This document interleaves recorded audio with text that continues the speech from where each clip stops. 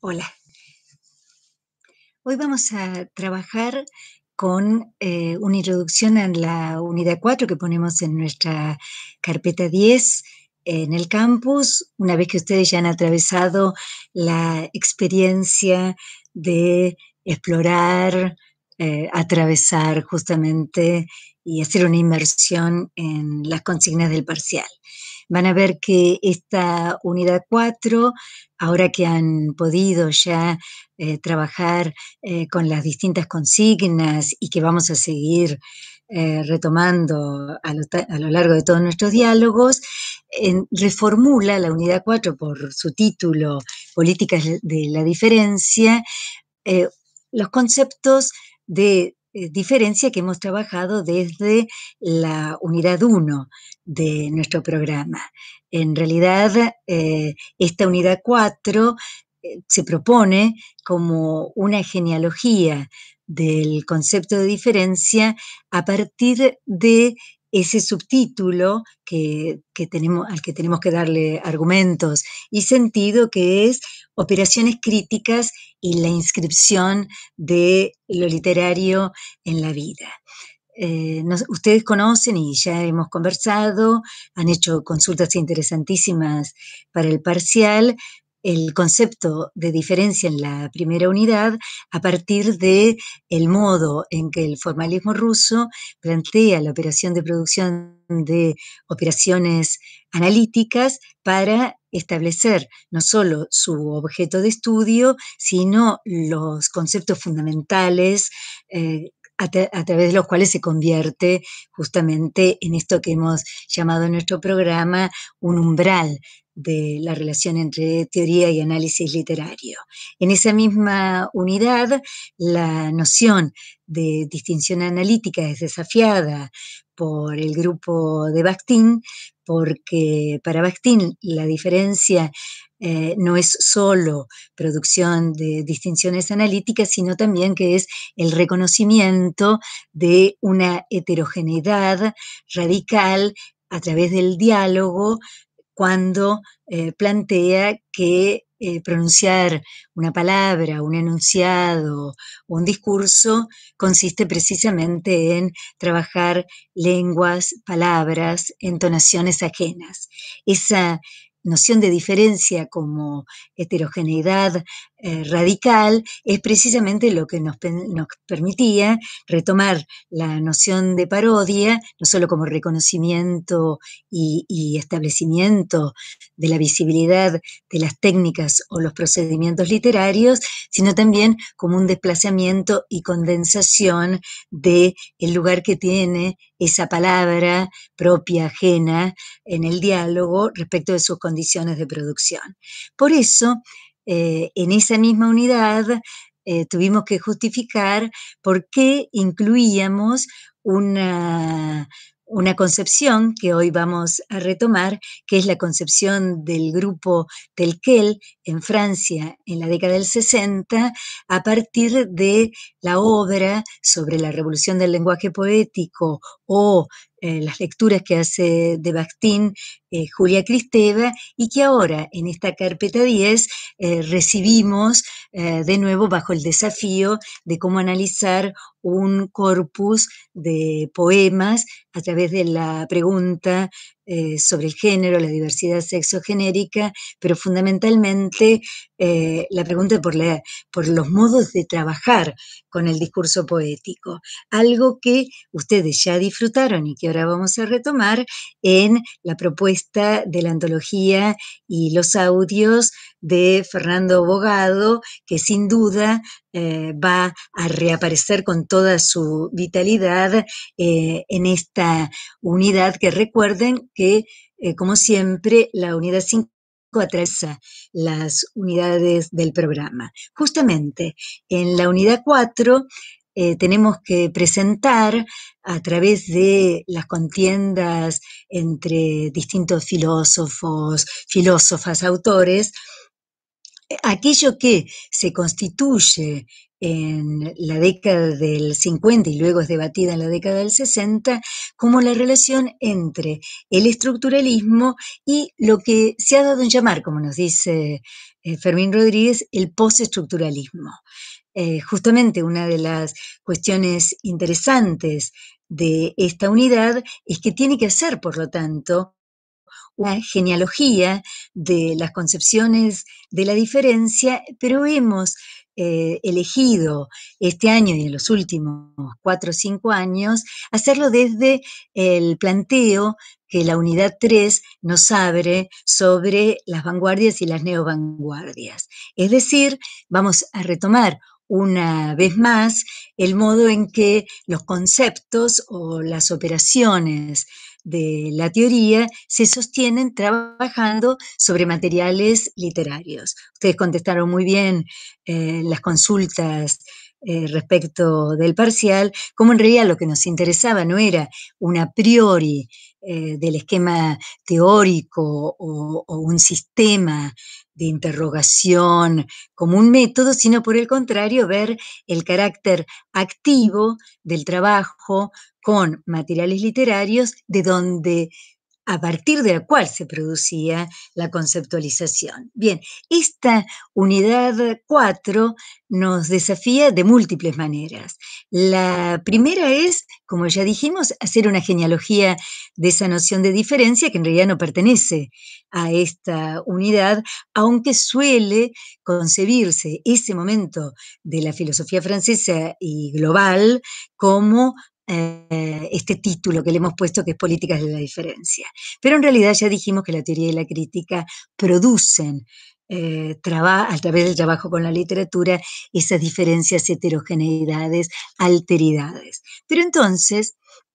lo que nos podemos preguntar es cómo concebimos la relación entre estos autores, autoras, en relación con el análisis de materiales literarios. En este caso, podemos recuperar una, frase enigmática, un párrafo enigmático en la fundamentación de nuestro programa, que es aquel que dice, eh, esperamos eh, constituir un umbral a partir del el formalismo ruso como momento inaugural para revisar la relación que la teoría literaria tiene con el marxismo, la lingüista, la lingüística, el psicoanálisis y eh, los modos de investigación. Bueno, fíjense, en esta unidad eso va a estar desplegado desde los distintos programas intelectuales y políticos de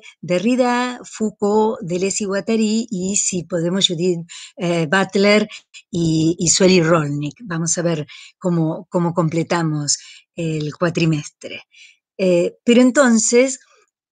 tenemos que recordar también que en nuestro programa esta unidad está eh, desde 1984, cuando se formuló por primera vez el programa de esta materia, y eh, recordar algo que dice siempre eh, Jorge Panesi, que es en realidad, el estructuralismo en 1984 ya tenía en nuestro programa una condición fantasmática, espectral, como va a decir eh, Derrida en 1993, ante el desafío de recuperar la lectura de Marx y producir el, el, título deslumbrante que luego se convirtió, era una conferencia y luego se convirtió en un libro de espectros de Marx. ¿Por qué decimos esto? Porque en realidad en la literatura, la cultura y la la intelectualidad argentina, el estructuralismo tuvo un momento de esplendor en la década del 60,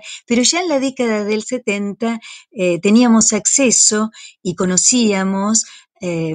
grandes textos y, los textos fundamentales, en realidad, que aparecen en esta unidad, de modo tal que en el año 84, con la recuperación de la democracia, cuando Enrique Pezón y Jorge Panesi formulan el programa, ya estaba como horizonte eh, filosófico, intelectual y crítico eh, esto que hoy vamos a analizar y, vamos a ver en qué medida se constituye como una unidad, una integridad o una escuela que suele ser mencionado como postestructuralismo. De hecho, hay un texto que no vamos a leer, que es sumamente divertido, de Deleuze, que lo mencionamos porque lo pueden encontrar online, que tiene por título ¿En qué se reconoce el estructuralismo? Y Deleuze, eh, que ya es quien ha escrito La lógica del sentido. Este es un texto del año 65 que se publica por primera vez en el año 71 y que nosotros usamos en nuestra materia en el año 86 y resulta que Deleuze hace ahí una operación divertidísima que consiste en incluir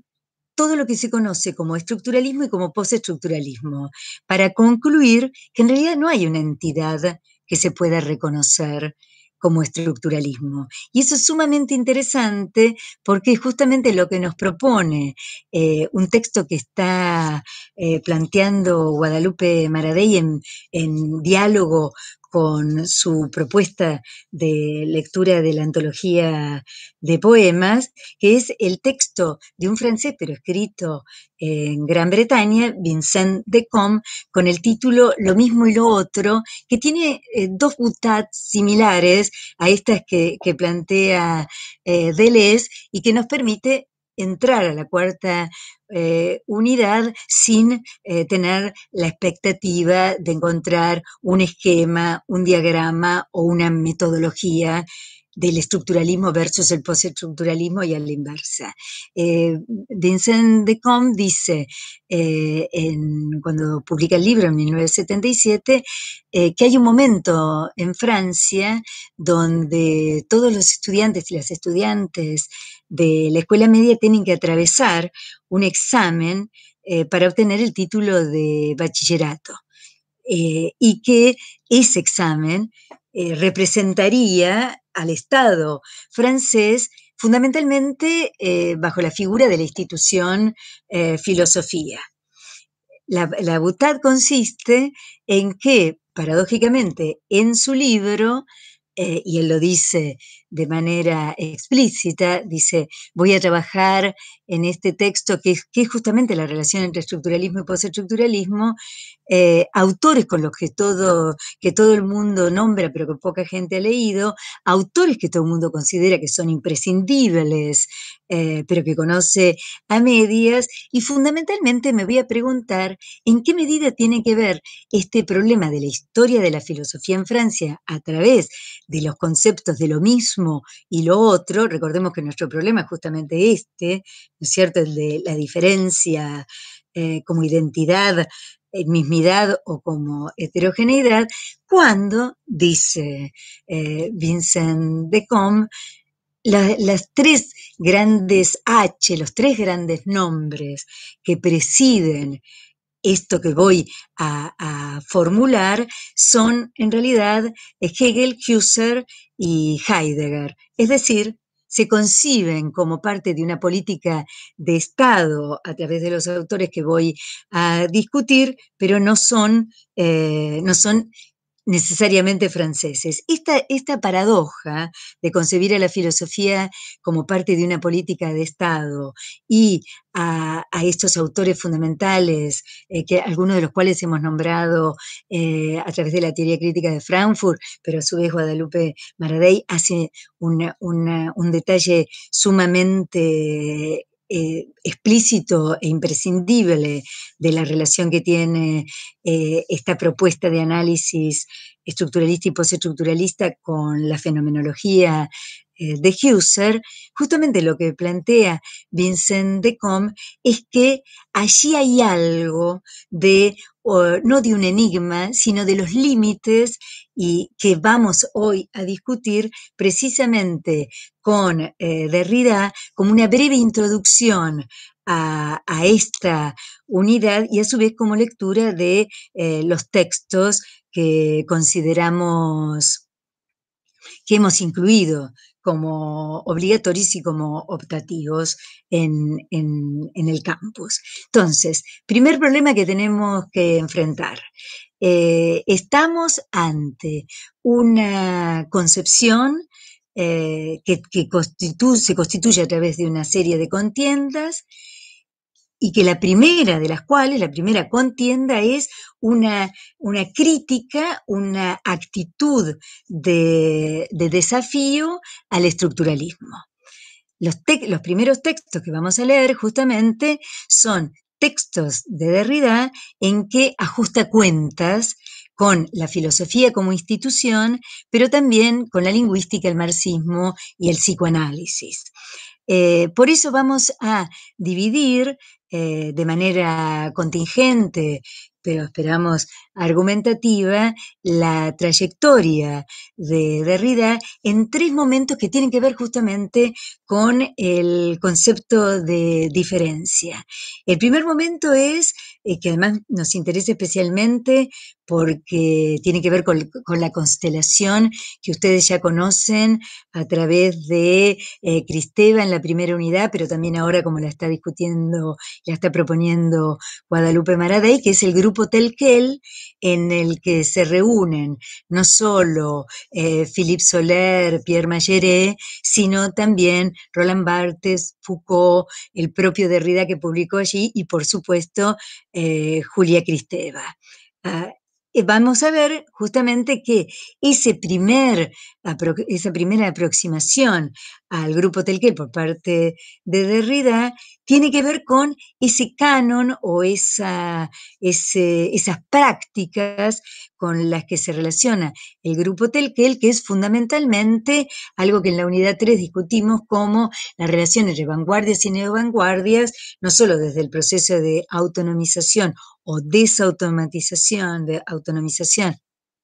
de lo literario, sino fundamentalmente desde la pregunta eh, cuál es el estatuto de la escritura en eh, la constitución de marcos de prácticas, inteligibilidad y fundamentalmente proyectos políticos. Por lo tanto, ya sabemos que en esta unidad eh, tenemos que recuperar las críticas eh, que las tres unidades anteriores formulan a la noción de el sujeto como una identidad eh, identificable y,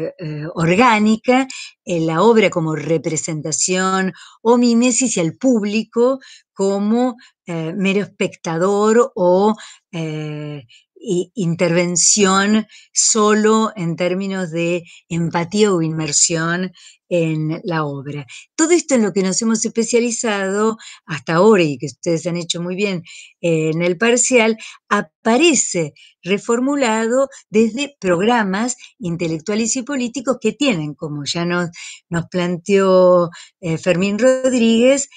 como horizonte no el fin de la Segunda Guerra Mundial simplemente, sino la reformulación de las políticas eh, europeas en términos de descolonización, poscolonia, pero también la relación compleja con Estados Unidos, especialmente a partir de la década del 60 y del 70, en un núcleo que también eh, podemos historizar en América Latina, que es una discusión respecto de la violencia política. De hecho, eh, el horizonte eh, núcleo de, que estamos planteando para este debate entre estructuralismo y, y aquello que provisoriamente llamaríamos postestructuralismo es París en mayo del 68, pero sabemos que la crisis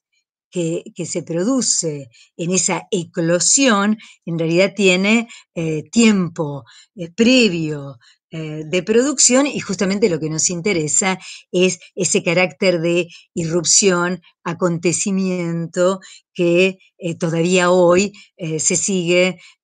postulando como problema. conocemos también que el marco en el que se producen estos debates incluye el concepto de cultura y civilización europea encarnada en el nacionalismo francés, del cual Derrida no solo va a ser un analista, sino fundamentalmente hacia el final de su trayectoria va a ser un activo demoledor, eh, va, a llevar el proyecto de la deconstrucción hacia ese lugar cuando, después de la caída del muro, va a producir sus proyectos políticos más importantes eh, que consisten en eh, la relación con, con, la planificación del genocidio por parte del Estado eh, europeo y francés, la, la relación con eh, la decolonización y simultáneamente la reformulación de formas imperiales, la acumulación y la concentración de la riqueza en términos de cambios eh, en el trabajo, pero también en los procesos migratorios que hacen que Derrida sea uno de los representantes fundamentales que hoy eh, se discuten respecto del multiculturalismo. Eh, son conocidísimos, eh, conocidísimos sus textos como El monolingüismo del otro, Fuerza de ley o como ya nombramos, espectros de Marx, donde eh, Derrida, y esto vamos, nos vamos a tomar un momento para especificarlo, hace una intervención política explícita en algo que el año pasado, cuando Jorge Panesi dio sus clases, que están disponibles eh, desgrabadas en, en, la carpeta de esta unidad, y esperamos que el año que viene vuelva a darlas de manera presencial, cuando Jorge Panesi dice, en realidad nuestra cátedra comenzó a discutir eh, la propuesta intelectual y política de Derrida como un problema respecto de la fenomenología, la lingüística y la semiótica y el psicoanálisis y a lo largo de todos estos años en que seguimos debatiendo con los nuevos materiales a los que teníamos acceso de Derrida, fuimos incluyendo problemas como la política de, las democracias conservadoras, el problema del consenso, el problema de, del derecho a la justicia, y justamente es lo que llama Jorge Panesi en, ese, en esos desgrabados que ustedes van a disfrutar mucho, que es un Derrida ético-político que dedica los últimos 20 años de su vida a una intervención explícita que hace, insisto, que hoy sea ineludible, no solo en eh, nuestras carreras, nuestros posgrados, sino también en términos de formas de organización política, como lo es Foucault, como lo es Deleuze, como lo es Judith Butler, Sueli Rolnick, eh, Richard, eh, perdón, Nelly Richards y quienes integran esta, esta unidad justamente. Destaquemos, por último, que esto no implica que la política esté concentrada en la unidad 4, sino que en realidad atraviesa como trama eh, todo nuestro programa. Pero concentrémonos entonces momentáneamente en eh, cómo podemos historizar, eh, vamos a ver que este es uno de los problemas en la propuesta de la deconstrucción de Derrida, la trayectoria intelectual y política de Derrida desde el punto de vista de al, algunas zonas de, sus textos que podamos concebir como eh, productoras de relaciones, no solo sobre materiales literarios, sino de, sobre conceptualizaciones. Y recuerden entonces que el eje de nuestra de, de, nuestro programa este año y, y desde siempre es eh, extraer, elaborar y reflexionar sobre los conceptos desde los modos de leer materiales literarios. Por eso podemos decir que un primer momento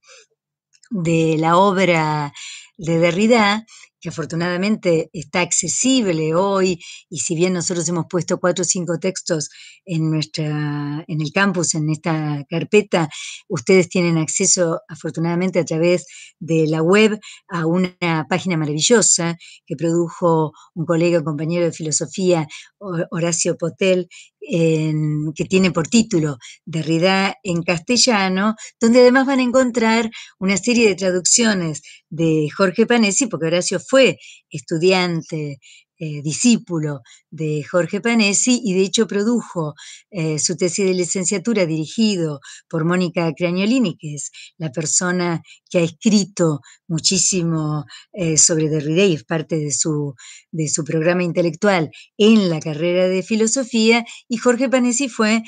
jurado de esa tesis de licenciatura. Por lo tanto,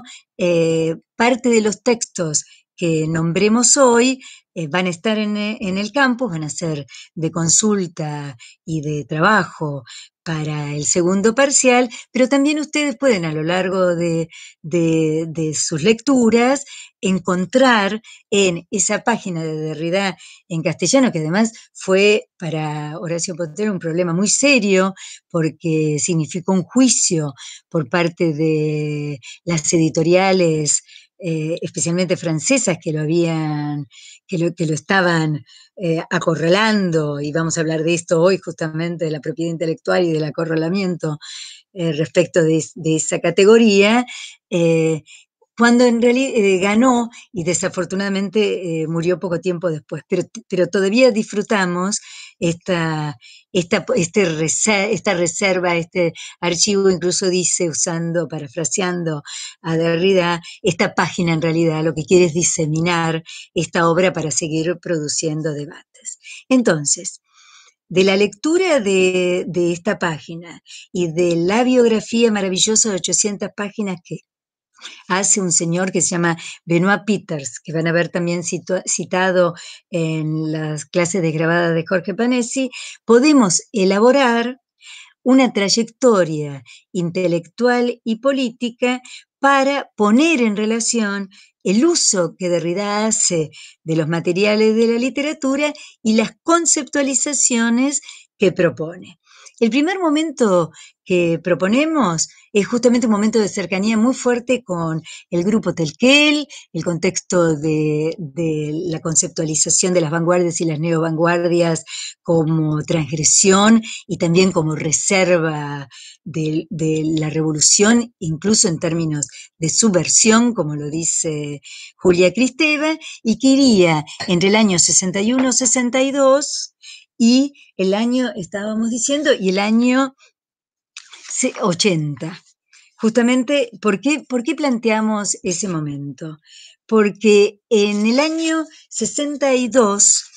eh, Derrida publica un texto que, cuando se lo lee como filósofo, es fundamental, que tiene que ver con su relación con Husserl. Pero lo que nos interesa eh, desde eh, la unidad 4 que estamos proponiendo es cómo en relación con el grupo Terkel y con eh, la revista Critique, de la que luego sería parte del consejo editor,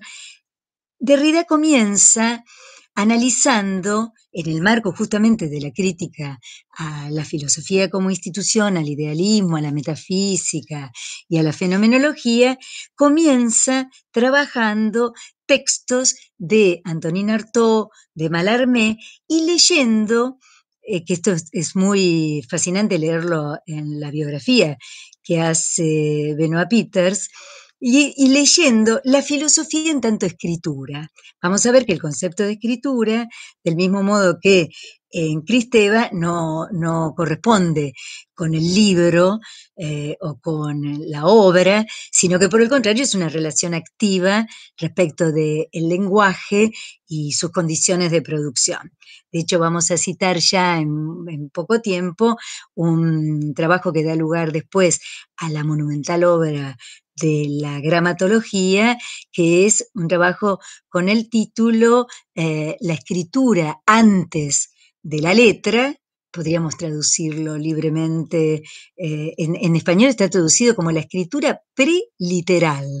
lo cual es bien complejo porque podemos traducirlo provisoriamente eh, como la escritura antes de la literatura, en alguna medida, porque ¿qué es lo que produce Derrida en, esa, en esa interrogación? Lee a Platón, a Sócrates, a Rousseau, eh, pero también a Nietzsche o a Levinas como escritores. Y esto es muy interesante porque esto le permite también leer eh, la obra eh, que propone Freud respecto de la interpretación de los sueños o respecto de Totem Tabú o el malestar y en la cultura, como una escena de escritura. Y esto nos vamos a detener en eso, recordando, aclarando, que no estamos hablando de eh, la circunscripción de un objeto, de una obra y, la formulación de un autor eh, como mera causa o explicación de esa obra,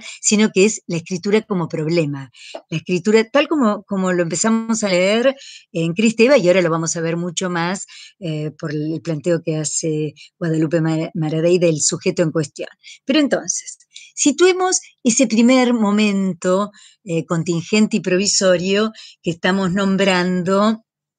de eh, Derrida. Y situemos justamente cuáles son los textos con los que estaríamos eh, trabajando. Son textos, insisto, que yo voy a, a explicitar, pero que ustedes pueden encontrar inmediatamente en, la página web respecto de la Derrida en castellano. Y eh, allí vamos a ver justamente cómo eh, el concepto de eh, diferencia, heterogeneidad radical, distancia o extrañamiento, como vimos respecto de la teoría crítica de Frankfurt, de la relación de Benjamin con Brecht, es utilizado, son utilizados en términos de la relación con, las obras con las que también discutieron tanto Adorno eh, como Benjamin y que constituyen justamente eh, un horizonte que todavía hoy concebimos como activo y revulsivo respecto de los límites, los bordes o las fronteras de en qué consiste leer, en qué consiste escribir, cómo se formula una tradición. Hay una fuera de la institución literatura, cómo se trabaja esos márgenes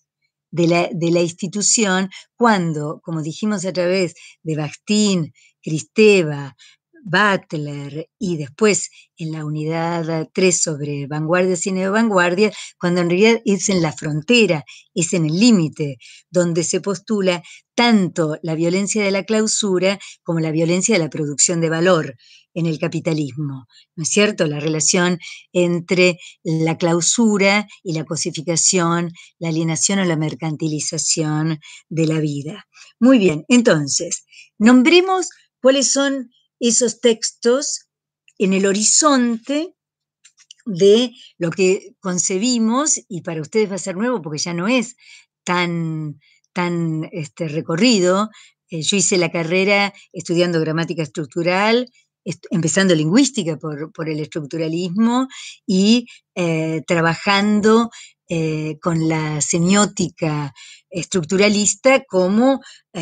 un horizonte presente. Hoy eso no, es tan cotidiano, eh, por eso insisto en que Parece lo considera eh, espectral o fantasmagórico, pero tenemos que eh, volver a nombrarlo porque funciona todavía en muchas concepciones de la literatura, no siempre explicitadas como semióticas o de la lingüística sistémica estructural, ¿no es cierto? Entonces, situemos ese, ese primer horizonte de Derrida a partir de un texto eh, que era fundamental en la década del 70, que leíamos frenéticamente, que es eh, un texto que escribe el antropólogo Claude Lévi-Strauss en la revista World en Nueva York, en contacto, como nos dijo Guadalupe Maradei, con Roman Jacobson, y el texto tiene por título el análisis estructural en lingüística y antropología. Y lo que propone, por eso lo, concebimos como el primer desafío en nuestra unidad 4, y lo que plantea es producir el estudio de las formas sociales concebidas y funcionando como un lenguaje. Entonces, tanto los mitos como los sistemas de parentesco, sabemos que a eso se dedica Levi-Strauss, pero también todas las otras formas simbólicas de eh, la, moda, el don o, el intercambio, el, trueque, pueden ser concebidos desde el punto de vista de un, de un sistema estructural semiótico. Justamente eh, en ese momento, eh, en la teoría literaria, eran dominantes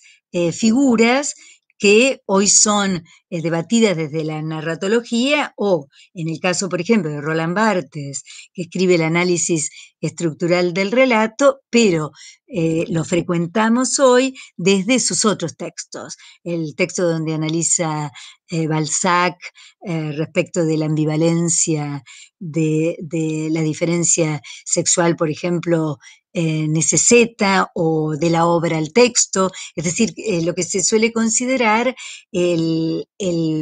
Roland Barthes de el, goce, eh, la, crítica a la autoría como sostenimiento de la ley del padre y fundamentalmente de la concepción del texto como red o matriz de relaciones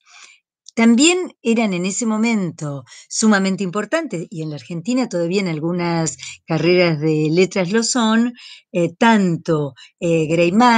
que escribe una semántica estructural que en algunas universidades en nuestro país es considerado como un método científico que se aplica para darle cientificidad a las tesis o a las investigaciones, y otra persona que probablemente conozcan eh, porque es muy importante para la narratología, que es Genet,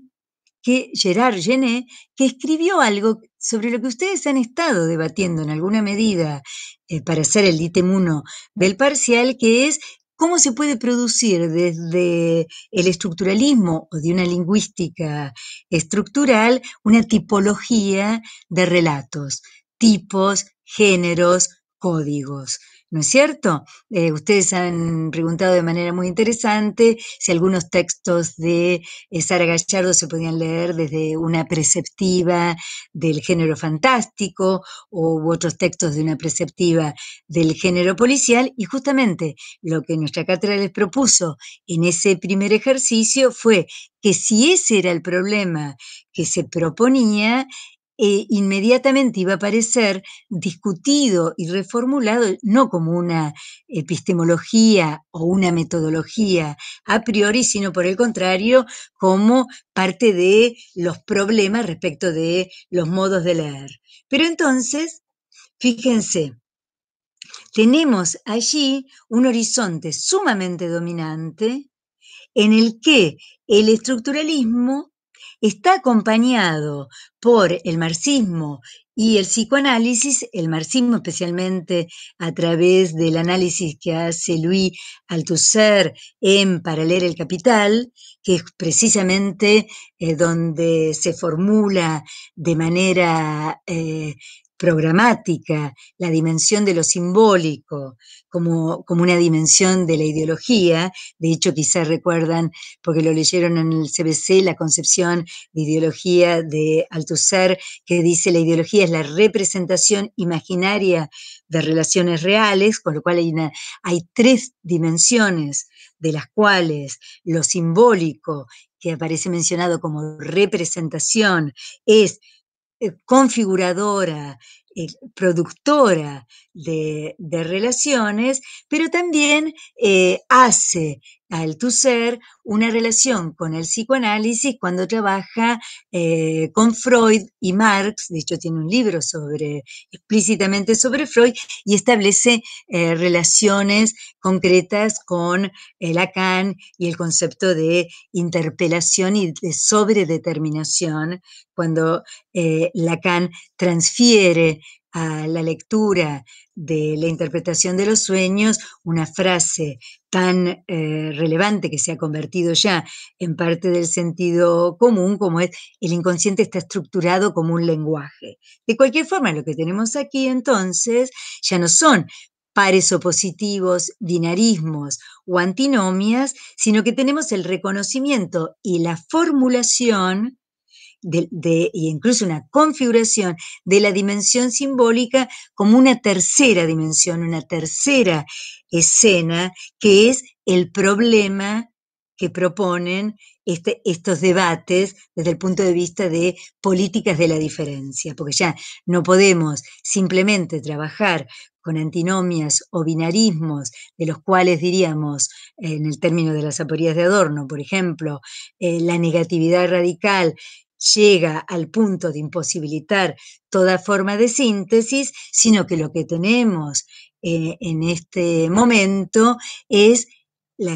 una terceridad que presupone una interpelación a la reformulación completa, no del paro positivo en términos de qué hay en cada extremo del binarismo, sino por el contrario, como ya dijimos hablando de Cristeva y de Butler, cuáles son las condiciones del eje que diferencia, atraviesa y mantiene a distancia esos elementos en oposición, que pueden ser la teoría y la práctica, el sujeto y el objeto, la, cultura y la naturaleza, o puede ser en los términos eh, en que lo discutimos a través de Cristeva y de Judith Butler, la diferencia sexogenérica en términos de la eh, varón-mujer, pero también sexo-género como un, como un conflicto que hoy pone en primer plano estas voces que aparecen en debate en, esta cuarta unidad. Pero entonces, recuperemos ese momento eh, fundacional en que en el límite de la Segunda Guerra Mundial, la institución universitaria, tanto en Francia como en Estados Unidos, plantea como método científico, pero también como propuesta política, al estructuralismo como el establecimiento de esas relaciones en las cuales nos, nos podríamos a partir de las cuales nos podríamos desembarazar tanto de una fenomenología de la conciencia como de una concepción biografista, psicologista del autor el público y fundamentalmente de la obra como una integridad orgánica que solo existe en tanto ideal, ¿no es cierto? Bueno, allí es donde eh, el señor Vincent de Comte usa otra butad sumamente interesante que nos permite entrar a nuestro debate, que es que la, la crisis y la crítica que produce el estructuralismo a la fenomenología de la conciencia, en realidad tiene en ciernes en su interior una crisis al propio estructuralismo. Nosotros esto lo vamos a leer desde la concepción que Derrida propone cuando lee a Mallarmé, a Antonin Artaud, pero también a Nietzsche, a Sartre, perdón, a Freud respecto de eh, cómo se formulan esos textos en tanto lo que él llama, y ya anticipamos, escena de la escritura. Entonces, el primer texto que nombramos, que ustedes no tienen como bibliografía obligatoria ni complementaria, pero lo pueden buscar en Derrida en castellano, es un texto que publica en Telquel, en invierno de 1965. Miren qué cerca que está de toda esta crisis que nos, que nos planteó Fermín Rodríguez, ¿no es cierto? Que tiene por título,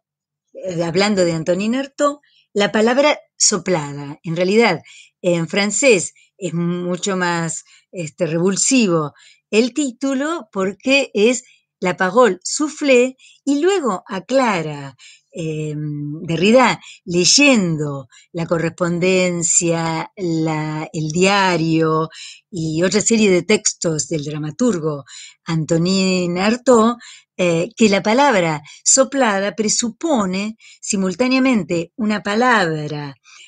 nombrada, dicha, enunciada por el apuntador en la escena teatral, es el que da la letra, pero simultáneamente soufflé significa también arrebatada, robada, saqueada. Por lo tanto, lo que tenemos en, este texto, a partir del cual eh, se hizo muy notable Derrida, que unos años después publica otro trabajo sobre Antonin Artaud con el título El teatro de la crueldad, que es la propuesta política de la performatividad, la dramaturgia de Antonin Artaud,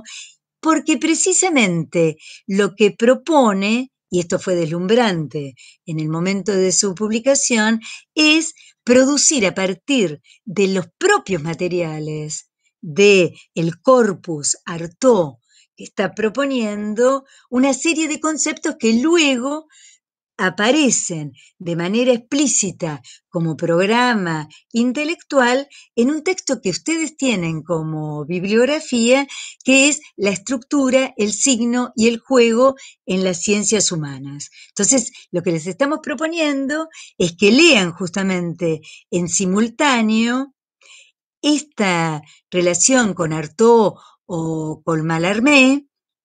en ese texto programático que además va a estar acompañado por una entrevista que ya nombramos eh, cuando hablamos de Cristeva, justamente, que Cristeva le hace a Derrida en el año 68-69, que ustedes tienen en el campus con el título Gramatología y Semiótica. O sea que allí ya está instalada la propuesta política de la deconstrucción a partir de algo que ahora tenemos que explorar y, aclarar, que es este programa de la gramatología. Respecto de Artaud, en ese texto que, insisto, fue deslumbrante porque además estaba, se estaba publicando en ese momento la obra de Artaud, entonces eh, se convirtió en un texto eh, insoslayable que él después lleva a, su otro texto sobre Artaud y que luego en el año 2004, poco antes de morir, publica como una entrevista donde eh, una editora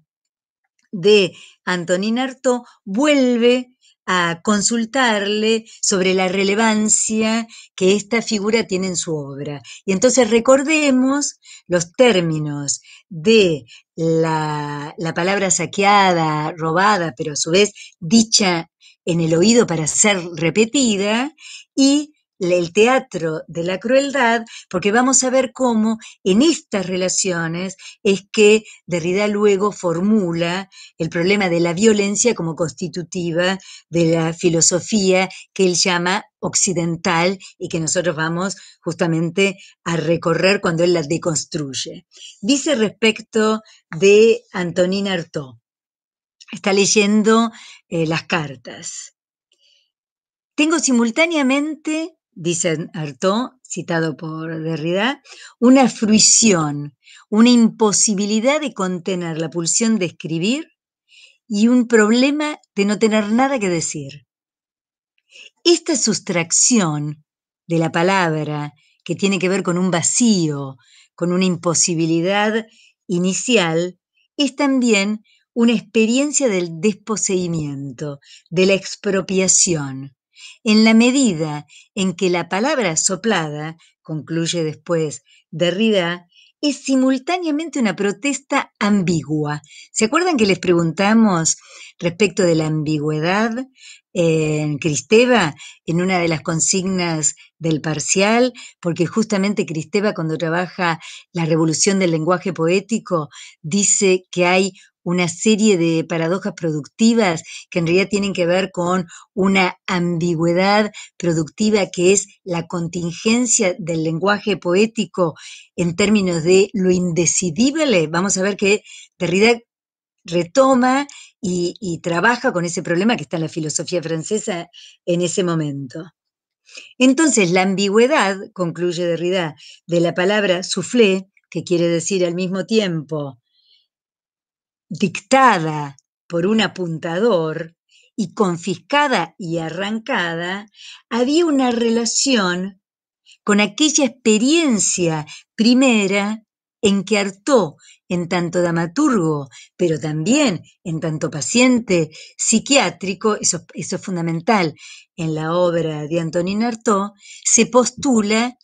como dramaturgo y escritor. Allí es donde Derrida dice unas cosas fascinantes que todavía hoy están vigentes cuando pensamos eh, las políticas de derechos, la, biopolítica o lo, lo, queer en un sentido explícito, que es cuáles son las instituciones que procuran acotar ese exceso de pulsión escrituraria y simultáneamente ese vacío respecto de una expresión que sea admitida como, como, la lengua de la cordura o la lengua de, la decencia y el decoro en la Francia del momento en que, en que está produciendo Antonin Artaud. Y dice respecto de esta pulsión y este exceso lo habitaban indudablemente una pasión y una pulsión por la escritura que es en realidad su puesta en escena. En cierta forma, la responsabilidad de la escritura, o eso que llamamos creación en general, solo se puede vivir como un hueco, proveniente de un vacío, de modo tal que en realidad nada existiría antes del acto de decir. Nada existiría como previo a esa performance teatral de Antonin Artaud. Porque si el contenido de lo que estuviera por decirse fuera previo, no habría entonces ninguna responsabilidad que asumir. No habría riesgo y por otro lado veríamos reconstituirse al mismo tiempo la dicotomía y la jerarquía entre autor texto y escena. Fíjense, acá nos da una pista en el año 65 ya, fundamental respecto de cuál es la tarea política de la deconstrucción. Cuando Derrida nos dice, en realidad, esas dicotomías, antinomias o pares binarios no nos desafían respecto de cuáles son los términos de cada uno de los extremos, como decíamos al comienzo, sino que nos vienen formulados como una jerarquía que ya pone en uno de esos pares, en uno de esos elementos del par binario, un centro desde el cual producir una hegemonía. Por eso dice Derrida, en realidad el teatro de la crueldad en Antonin Artaud, implica el esfuerzo, la pulsión por producir un desplazamiento, un trastocamiento de esa jerarquía. Recuerden cómo habíamos dicho, autor, texto, escena. Esa, esa jerarquía de tres, que en realidad es dos, porque es autor-obra, obra, performance, obra, interpretación. ¿No es cierto? Las figuras a las que le atribuye Derrida una imposibilidad de leer ese texto son precisamente el crítico literario y el psiquiatra o el médico. Y entonces nos plantea de manera deslumbrante, para lo que después va a decir sobre Freud, que en realidad el teatro de la crueldad en tanto desplazamiento o trastocamiento de esos binarismos en tanto jerarquía, dice el teatro de la crueldad que no hay nada anterior al acto, ese gesto que se produce en escena, así se trate de escribir o de actuar, en realidad se constituye como un jeroglífico, algo que solo existe en el momento de su formulación, que es precisamente, miren, 1965, ¿eh? los movimientos del cuerpo que no obedecen a ningún texto dado como a priori, ni a un querer decir previo.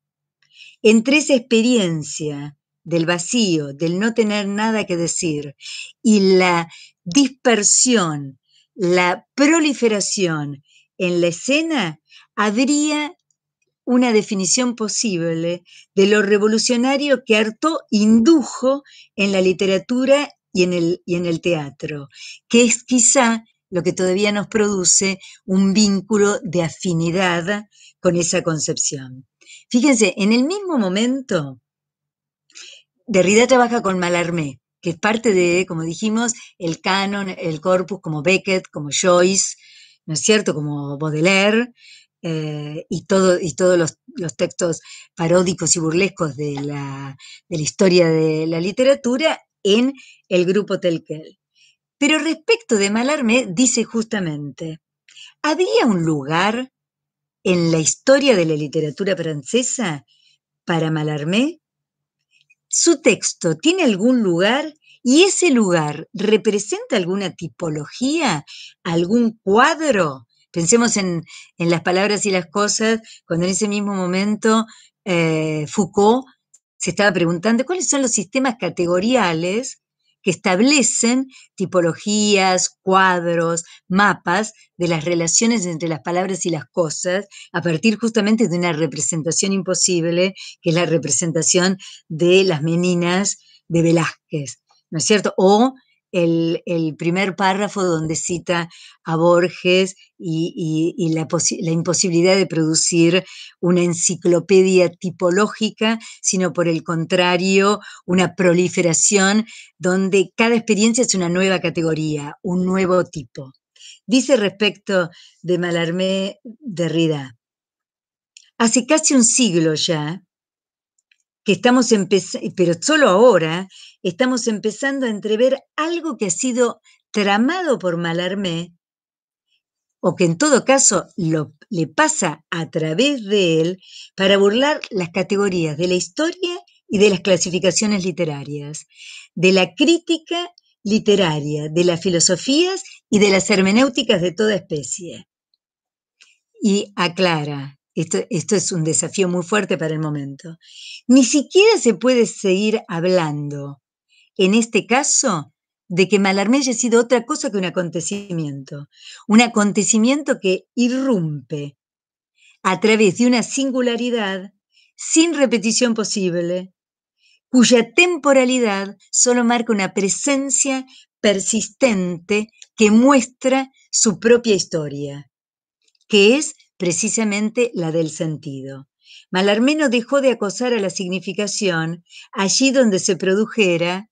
esa pérdida de sentido convencional, en particular a partir de dos alquimias, que son la estética y la economía política. Recordemos este concepto de alquimia cuando veamos en el título de la estructura, el signo y el juego en las ciencias humanas, cómo funciona la diferencia en términos de exceso o excedente respecto de la relación entre el signo y el juego en las ciencias humanas. Desde este punto de vista, entonces, podemos ahora sí pasar al, texto que tenemos en la, en la bibliografía como un texto eh, obligatorio que ustedes van a recorrer con mucho esfuerzo, pero como se van a sumergir también en la entrevista que le hace Cristeva, van a encontrar como el propio manual argumentativo de Derrida respecto de, ese otro texto, ¿no es cierto? Permítanme mencionarles eh, antes, porque es de 1966 y de 1965, dos eh, textos publicados en, simultáneo con esto de lo que estamos hablando de, de y Artaud, que uno es, en 1966, Freud y la escena de la escritura, que comienza como una conferencia en marzo de 1966 en el Instituto de Psicoanálisis en Francia, en París, que se publica también en Telquel en el verano del 66 y que luego aparece en su obra ya publicada como, libro programático, La escritura y la diferencia. Lo que se pregunta en, fíjense la, astucia del título, Freud y la escena de la escritura. Lo que se pregunta en ese texto, que después vamos a volver a leer en, y les quiero decir ya el título para, para no postergar el, peso que tiene la, la, cita, el texto que publica en 1965 que en realidad es un antecedente de la gramatología, porque luego aparece como un capítulo de la gramatología, tiene por título La escritura preliteral. En realidad en francés es la escritura van la lettre, que es algo así como, podríamos traducirlo provisoriamente como la escritura antes de la literatura. ¿No es cierto? y, aparece como eh, un capítulo de la gramatología o ciencia de la escritura, es el subtítulo de la gramatología, que tiene como subtítulo la escritura preliteral, el fin del libro y el comienzo de la escritura. Todos estos desafíos que, propone Derrida en ese momento inaugural de su proyecto son, por un lado, muy trabajosos, muy riesgosos, vamos a usar esta palabra riesgo respecto de la deconstrucción, luego, porque él dice, en realidad la deconstrucción es, es una práctica riesgosa, arriesgada. Eh, pero permítanme que les nombre eh, a qué menciona, eh, a qué se refiere Derrida cuando habla de Freud y la escena de la escritura, porque es deslumbrante. En realidad lo que se pregunta es, cuando Freud en la interpretación de los sueños plantea el trabajo del sueño como material a partir de las huellas que se registran como marca, como trazo, no sobre una superficie eh, llana y simple de la interpretación, sino por el contrario como un problema. Está usando en ese momento eh, Derrida una nota que Freud escribe en 1924, que si hay algún psicoanalista, es, parte de lo cotidiano del psicoanálisis, eh, que, tiene por título El blog o la pizarra mágica, que consiste en una técnica que encuentra eh, Freud para su deslumbramiento, para poder explicar a qué se refiere con, con el trabajo del, sueño eh, en la escucha clínica eh, que le permite instaurar una dimensión que no está localizable, pero que, sí funciona eh, en relación con la clínica, que es la clínica, que es la, dimensión del inconsciente. Y la pizarra mágica o el blog encuentra em, Freud, es un, es un dispositivo por el cual sobre una superficie se coloca una página de celuloide, de modo tal que se puede escribir sobre ella y cuando se llegó al límite de esa página de celuloide, se la puede reemplazar, pero debajo de, de, la página, sobre la superficie de la pizarra o del blog, quedó la marca, el trazo de, eso que se escribió, se tachó, se, se, se sobreescribió. Vamos a ver que a partir de esto Derrida produce un concepto que es tan abstracto como interesante, que es el concepto de archiescritura. En realidad, la escena de la escritura que propone en la situación clínica eh, Freud es, no es una escritura como representación, en el sentido de las metáforas miméticas que pueden traducir el sueño como si fuera una narración eh, lineal, secuencial, sino que por el contrario, esa escena de la escritura tiene que ver con un trabajo sobre la marca como condensación y desplazamiento. Recordemos esto porque ustedes lo deben haber analizado en el CBC como parte de los mecanismos que la semiótica analiza de la producción de metáforas. ¿No es cierto? La metáfora produce respecto de la metonimia una relación de condensación y desplazamiento. Pero entonces, dice Derrida, el astuto de Derrida, entre escena, registro, marca y huella, hay una concepción de la escritura no como expresión o representación, sino como trabajo respecto del trauma. Pero el trauma no se presenta por sí mismo, se presenta en términos de repetición e interrupción que el análisis propone a los límites, pero a su vez a la continuidad que el propio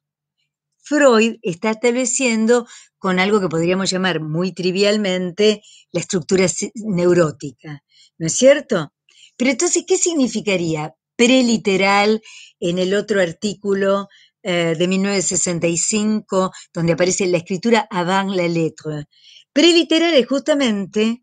el trabajo con esas huellas que toma Derrida del análisis de, de Freud, que dan lugar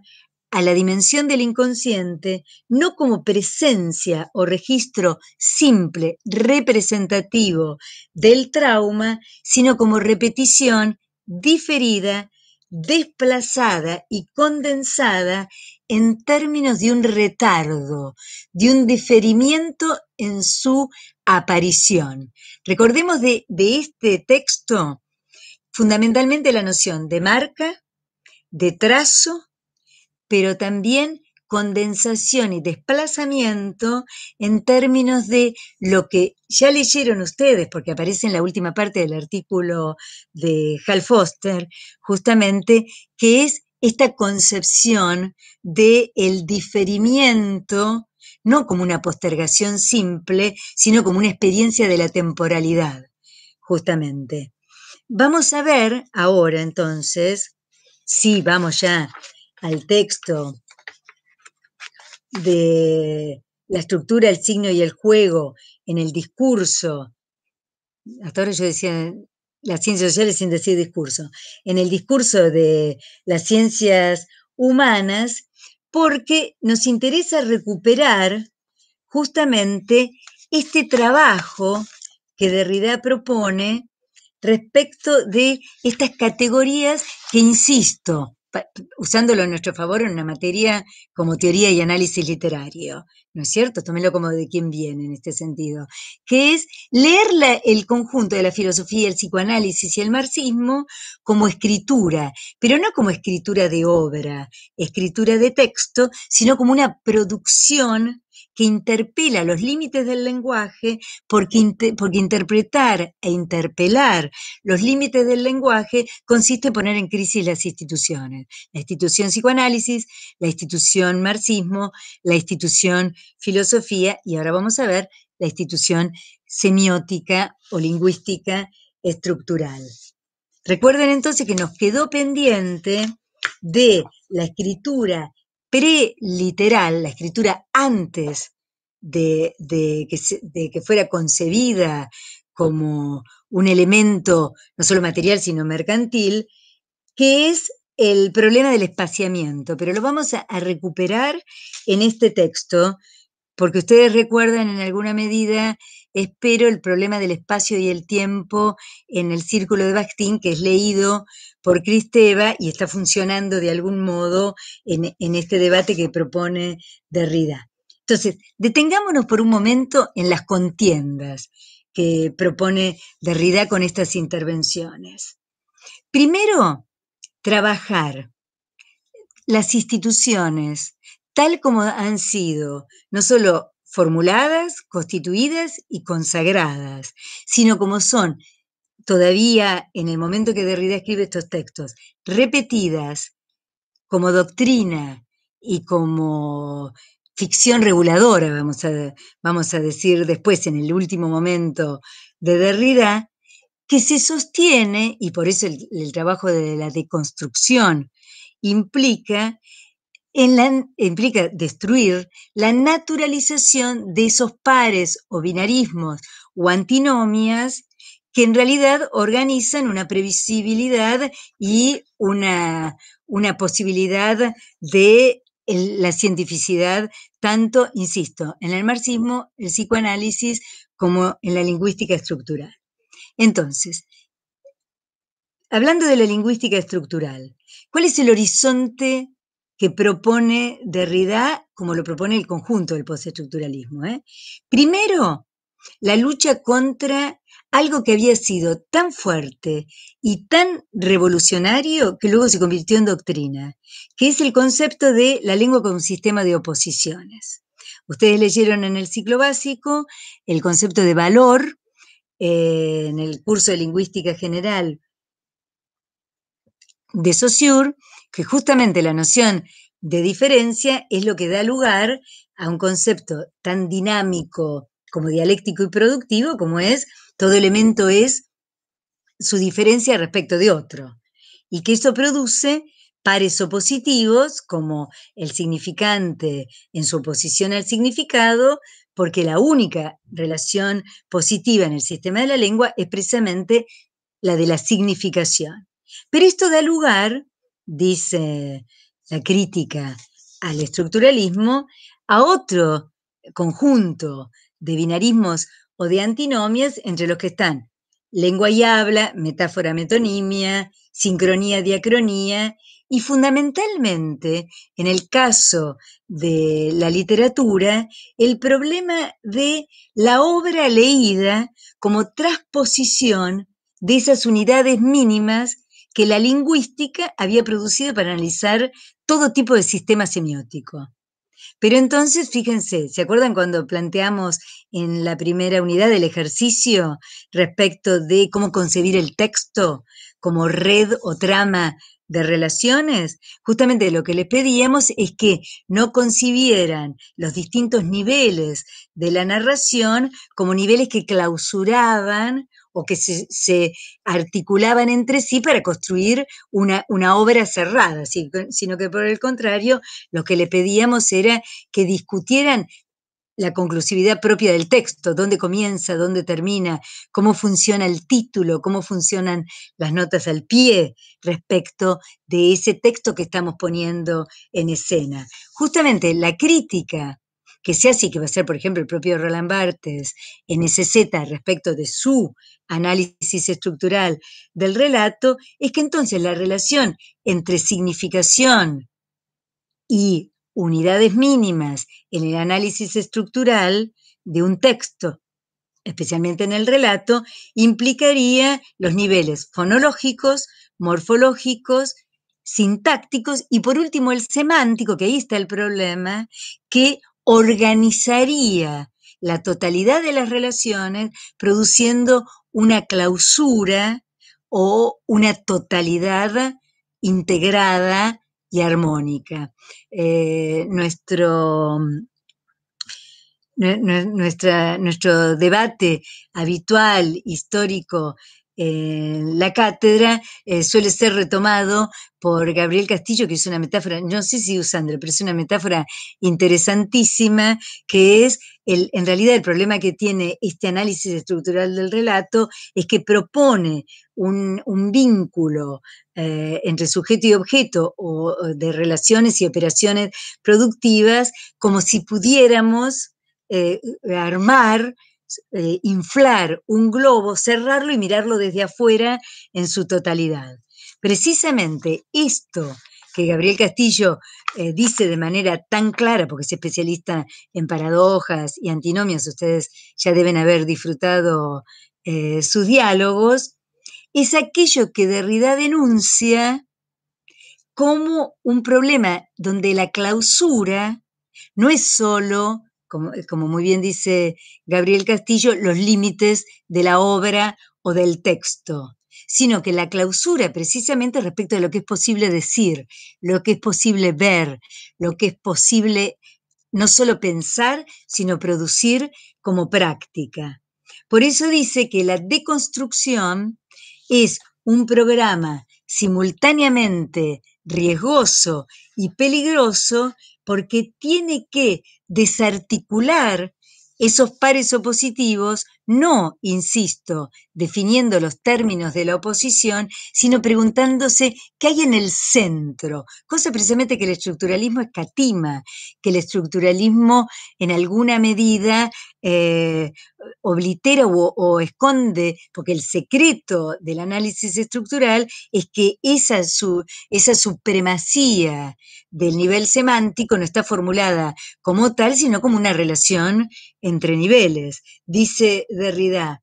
el, programa de la deconstrucción es un programa peligroso porque requiere desarticular no solo los pares opositivos, sino su producción de un centro, de un eje que garantiza su persistencia en términos de categorías de la filosofía idealista. Por eso tiene que destruirlas desde ese centro, desplazándolas y poniendo en evidencia que su fuerza argumentativa depende de una antinomia no reflexionada. Es decir, ese centro que después vamos a ver que Derrida postula y lo dice muy claramente, no solo en la estructura, el signo y el juego, en el discurso de las ciencias humanas, sino también en la entrevista que le hace, en el diálogo con Cristeva, ese centro en realidad es un efecto de sustitución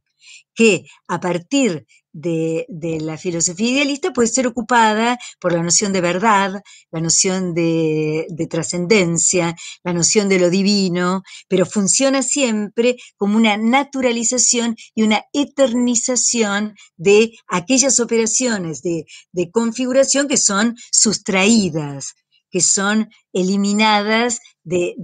lo visible y también de lo inteligible, de lo posible. En este sentido, la diferencia no parece como una oposición, recuerden el concepto de distinción analítica que habíamos planteado, sino en tanto productora de la exploración de lo heterogéneo. Fíjense, entonces ya la diferencia no es ni pares opositivos ni el equilibrio a partir de un eje que, sostiene ese paro positivo, sino por el contrario, una singularidad que surge de lo heterogéneo esto es contra la oposición, hay gente de filosofía, sabemos, contra la oposición entre lo universal y lo particular. Pensemos que tanto en la ética como en la crítica del juicio, eh, Kant no plantea la relación entre lo universal y lo particular, sino en la ética entre la ley y el caso y en la crítica del juicio, que sería lo que suele leerse como una estética, Kant plantea que se trata de una crítica que produce un juicio que no existe previamente a las relaciones que produce es que justamente relaciones que no son ni de, cientificidad o abstracción universal como la ciencia, ni de necesidad, perdón, de necesidad como la ciencia, ni de libertad como es eh, la, ética, en, en, la crítica de la razón práctica, sino que es un tipo de juicio que produce singularidades. Esto es retomado por el postestructuralismo y en esta unidad 4 esto va a ser discutido permanentemente, porque entonces la heterogeneidad radical que, que produce esta diferenciación, justamente, eh, Deleuze en ese artículo eh, que, que, casi reproduce la lógica del sentido donde analiza a Alicia en el País de las Maravillas, dice que en realidad hay que diferenciar el efecto de posición que, la estructura produce de sus elementos por la función dominante que tiene el, sistema orgánico y estructural, esto lo vimos en Tiniano, entonces que hay que diferenciar el efecto de posición de el factor diferenciador que produce la heterogeneidad. Esto que quedó eh, en la unidad 1 quedó en una especie de abstracción no demasiado argumentada, que tiene que ver justamente con algo que luego va a tomar el feminismo y la teoría queer, que es cómo la diferencia en realidad produce heterogeneidades, no es solo el registro de un rasgo o de un atributo en términos de clasificaciones. Deben recordar esa frase maravillosa de Judith Butler que dice, las clasificaciones nos dicen más sobre nuestra necesidad de clasificar los cuerpos que sobre nuestros cuerpos porque nuestros cuerpos en realidad eh, están por fuera, exceden y son experiencia y vivencia de esas clasificaciones que vivimos y experimentamos en términos de marcos de inteligibilidad y de prácticas. En este punto, y esto es parte de lo que, lo que lee desde Derrida, tanto Judy Butler como, como el feminismo y la, y la teoría queer, es que lo heterogéneo como singularidad aparece entonces contra toda unidad totalizante. La palabra que usamos para esto es una palabra que apareció a lo largo de nuestro programa, pero que ahora tiene una, una dimensión argumentativa fundamental, que es la palabra pluralidad. Derrida va a sacar de esta palabra un proyecto político de la deconstrucción, que es la diseminación. La diseminación no como mera expansión, sino como explosión, como imposibilidad de centro, justamente, imposibilidad de localización en un centro. Por eso, a la noción de heterogeneidad, esto va a sonar muy abstracto, la palabra pluralidad, el concepto de la pluralidad, le agrega como acontecimiento, interrupción o disrupción, algo que ustedes ya leyeron y trabajaron eh, con Benjamin y Brecht en términos de el extrañamiento como distancia, no simplemente como, como diferencia, sino como distancia, la interrupción en el teatro épico de Brecht de la escena, de modo tal que la escena no se puede reconstituir como una narrativa lineal y sucesiva porque ya fue interrumpida. Esta noción de discontinuidad es lo que permite en eh, el proyecto político de Derrida situar a la cita no como mera repetición, sino como negación del esquema teleológico causa-efecto. Esta es una pregunta que, ustedes hicieron que fue muy interesante respecto de la consigna 11 del ítem 2 del parcial, cuando, cuando preguntaban, pero esta diferencia que plantea Hal Foster entre historicismo e historicidad. El historicismo me queda claro que es la posibilidad de establecer una secuencia causa-efecto donde puedo poner al autor, al contexto o, a la historia como, como, justificación de mi análisis. Pero la historicidad, ¿qué es lo que pone en juego de la crítica desde las prácticas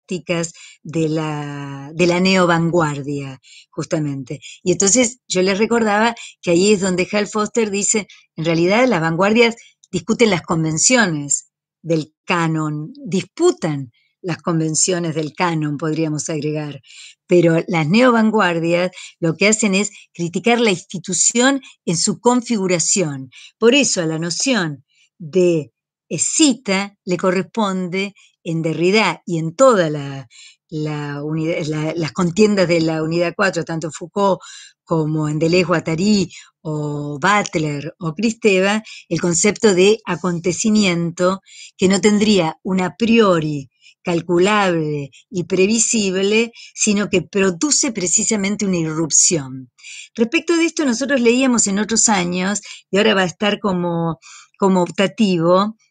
eh, porque lo leíamos justamente en práctico, teníamos ocho horas de clase, eh, un texto de 1971 de Derrida que aparece después en márgenes de la filosofía, cuyo título era Firma, Acontecimiento y Contexto. Nosotros vamos a recuperar esta, esta noción de firma en términos de eh, qué representa la firma respecto de la figura del autor, y en firma, acontecimiento y contexto, Derrida dice la marca de una ausencia, pero es una marca, es una huella de esa ausencia, y esto lo vamos a recuperar leyendo ante la ley de, de Derrida, cuando trabaja ese apólogo en el interior de la novela El proceso de Kafka. Pero entonces, para, para poder eh, no concluir, pero al menos eh, sintetizar esta relación eh, con las dualidades que plantea la lingüística estructural o la semiótica. Lo que se pone en juego aquí, desde la noción de diferencia como heterogeneidad, cita como discontinuidad.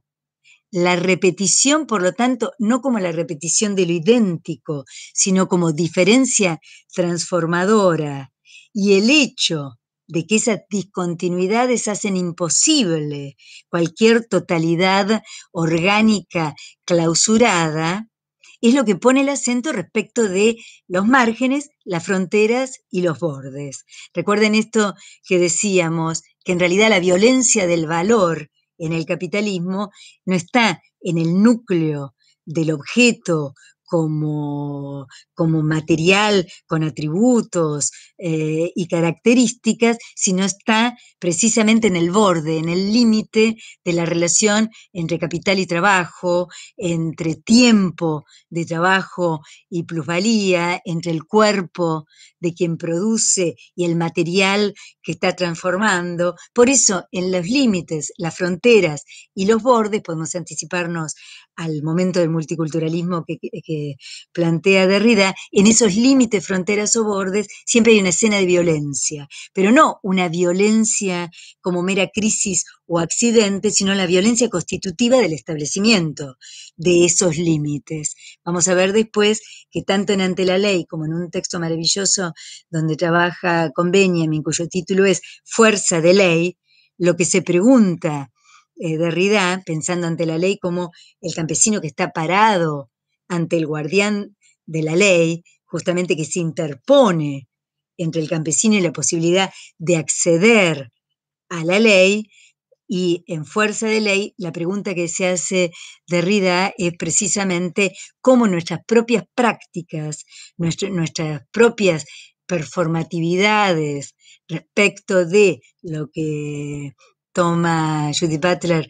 en parte de Derrida, que es esas ficciones regulatoras, regulativas del género, la sexualidad, cómo nuestras propias performatividades sostienen le reproducen y en definitiva legitiman la violencia de la ley, legitiman esa fuerza de ley que la ley extrae, es una fuerza que la ley extrae de nuestras propias prácticas. Estamos adelantando ese momento en que Derrida hace política y se dedica eh, permanentemente a situarse como, como, un actor respecto del lugar que tiene no solo la filosofía, sino la cultura francesa en, en el capitalismo. Muy bien, pero entonces recordemos, y ya podemos pasar al segundo momento, un texto de 1968 que aparece en una publicación conjunta del colectivo Telquel que tiene por título Teoría de Conjunto. Y lo que trabaja eh, el colectivo Telquel allí justamente es en relación con la experiencia de los límites, los bordes y las fronteras, aquello que se estaba discutiendo en ese momento, que es precisamente la relación entre ciencia, literatura o arte e ideología en términos de programas y formas de organización. Eh, Derrida produce allí esa frase que se hizo famosísima después y a partir de ahora lo va a hacer también para ustedes, porque es primero el texto de una conferencia que, pronuncia en el anfiteatro Michelet de la Sorbonne, dentro del marco de la Sociedad Francesa de Filosofía, que, es la misma sociedad donde nosotros vamos a leer una conferencia del 69 de Michel Foucault con el título El autor, que es un autor. El autor como productor se coló del parcial en algún momento. Muy bien, este texto, eh, que primero es una conferencia y luego está publicado por el grupo Telquel en teoría de conjunto, tiene la famosa frase que comienza con, voy a hablar de una letra, la letra A. Justamente ¿por qué? Porque en relación con lo que veníamos diciendo, del problema de los pares opositivos, el centro, la jerarquía, el límite, el borde o la frontera como espacio de la violencia legitimadora, de la fuerza de esa antinomia que, que sostiene lo previsible, el Estado, la crueldad o la ley, Derrida dice que eso es lo que le permite reescribir la noción de diferencia interponiendo haciendo irrumpir en la palabra diferencia la palabra diferir. Entonces, la noción de diferencia, que en francés no se escucha en su pronunciación, pero sí nosotros lo podemos traducir como différence, es decir, la, la, diferencia en términos de la articulación entre la distinción, la diferencia, la heterogeneidad y el diferir, porque allí es donde plantea que en realidad el proyecto de la deconstrucción no solo propone un desplazamiento en el sentido de la escena de la escritura de, de Freud respecto de el trabajo del inconsciente como desplazamiento y condensación, sino que a su vez plantea un diferir oblicuo, esta palabra oblicuo atraviesa toda la obra de Derrida, que ponga a la vista y en evidencia que toda la filosofía que podemos considerar occidental, desde Platón hasta la filosofía alemana, que para un francés de la década del 50 y del 60 era virtualmente contemporánea, el neocantismo todavía y el neohegelianismo todavía estaban activos y dinámicos eh, como, como fuerzas vivas, dice, en realidad, toda esa filosofía se sostiene en una indiferencia activa a los efectos de la diferenciación. Para esto, Derrida toma nuevamente a Nietzsche y a Freud como escritores, Por eso trabaja, después en Espectro de Mar va a trabajar con, eh, Shakespeare y Hamlet, por ejemplo, y el problema de la deuda y el problema del duelo, ¿no es cierto? En La Différence, que se convierte en un éxito que le da el lugar que luego tiene Derrida en, en el mundo, especialmente en, el lugar donde la teoría filosófica y literaria se presenta como, como un saber ineludible respecto de, la cultura, incluso de las artes liberales, porque allí lo que plantea en ese texto eh, Derrida es que en tanto escritores, tanto Nietzsche como Freud producen a la diferencia como un motivo de discordia. Recuerden lo que les comentaba eh, Fermín Rodríguez sobre el problema del desacuerdo en Rancière, ¿no es cierto? Y entonces, lo que la escritura de Nietzsche y Freud produce sobre la noción de diferencia es una diferencia activa en tanto discordia. Y ahí viene algo muy enigmático, pero que vale la pena. Las oposiciones entre naturaleza y cultura terminan con un centro que no, que no establece una diferencia clara o estable simplemente entre naturaleza y cultura, sino que convierte la cultura en una naturaleza. Esta paradoja tiene que ver con el principio de, diferencia que nos podríamos hacer hoy, como hicimos respecto de, Adorno, cuando preguntamos qué tipo de mercancía es la cultura en tanto mercancía, lo que está preguntando acá eh, Derrida es qué tipo de eh, naturaleza es esa cultura que no solo difiere de la naturaleza tal como es vivida Recordemos la violencia que Hegel le producía, le, proponía a la naturaleza respecto del hombre. Entonces, la naturaleza no solo difiere y es diferente por lo que reprime y oculta, sino porque esa represión, esto es deslumbrante, pero, pero muy complejo, porque esa represión en realidad es una represión diferida que tiene como núcleo no solo la represión sexual, la represión del decoro o la desvalorización, sino que por el contrario, esa represión diferida produce ideales. Y esos ideales, acá están escuchando a Lacan probablemente, y esos ideales son espíritu, libertad, igualdad, fraternidad e incluso historia. Esas diferencias que no se presentan como tales, porque se presentan como unidades integrales, ideales, trascendentes, son idénticas a sí mismas en un eterno retorno, que no hace sino reducir y repetir la energía que la diferencia porta, que la diferencia lleva. Y entonces, para dejar en paz este artículo, dice Derrida, podremos pues llamar diferencia, diferencia más diferir, a esta discordia activa en movimiento, de fuerzas diferentes y de diferentes fuerzas, que opone, por ejemplo, Nietzsche a todo sistema de la gramática metafísica en todas partes donde gobierna la cultura, la filosofía y la ciencia. Fíjense, la cultura, la filosofía y la ciencia constituyen aquellas instituciones que no solo presentan dogmas bajo la forma de, sus propios conceptos e ideales, sino que además producen una represión diferida porque no se presenta como tal. es decir, la palabra libertad oculta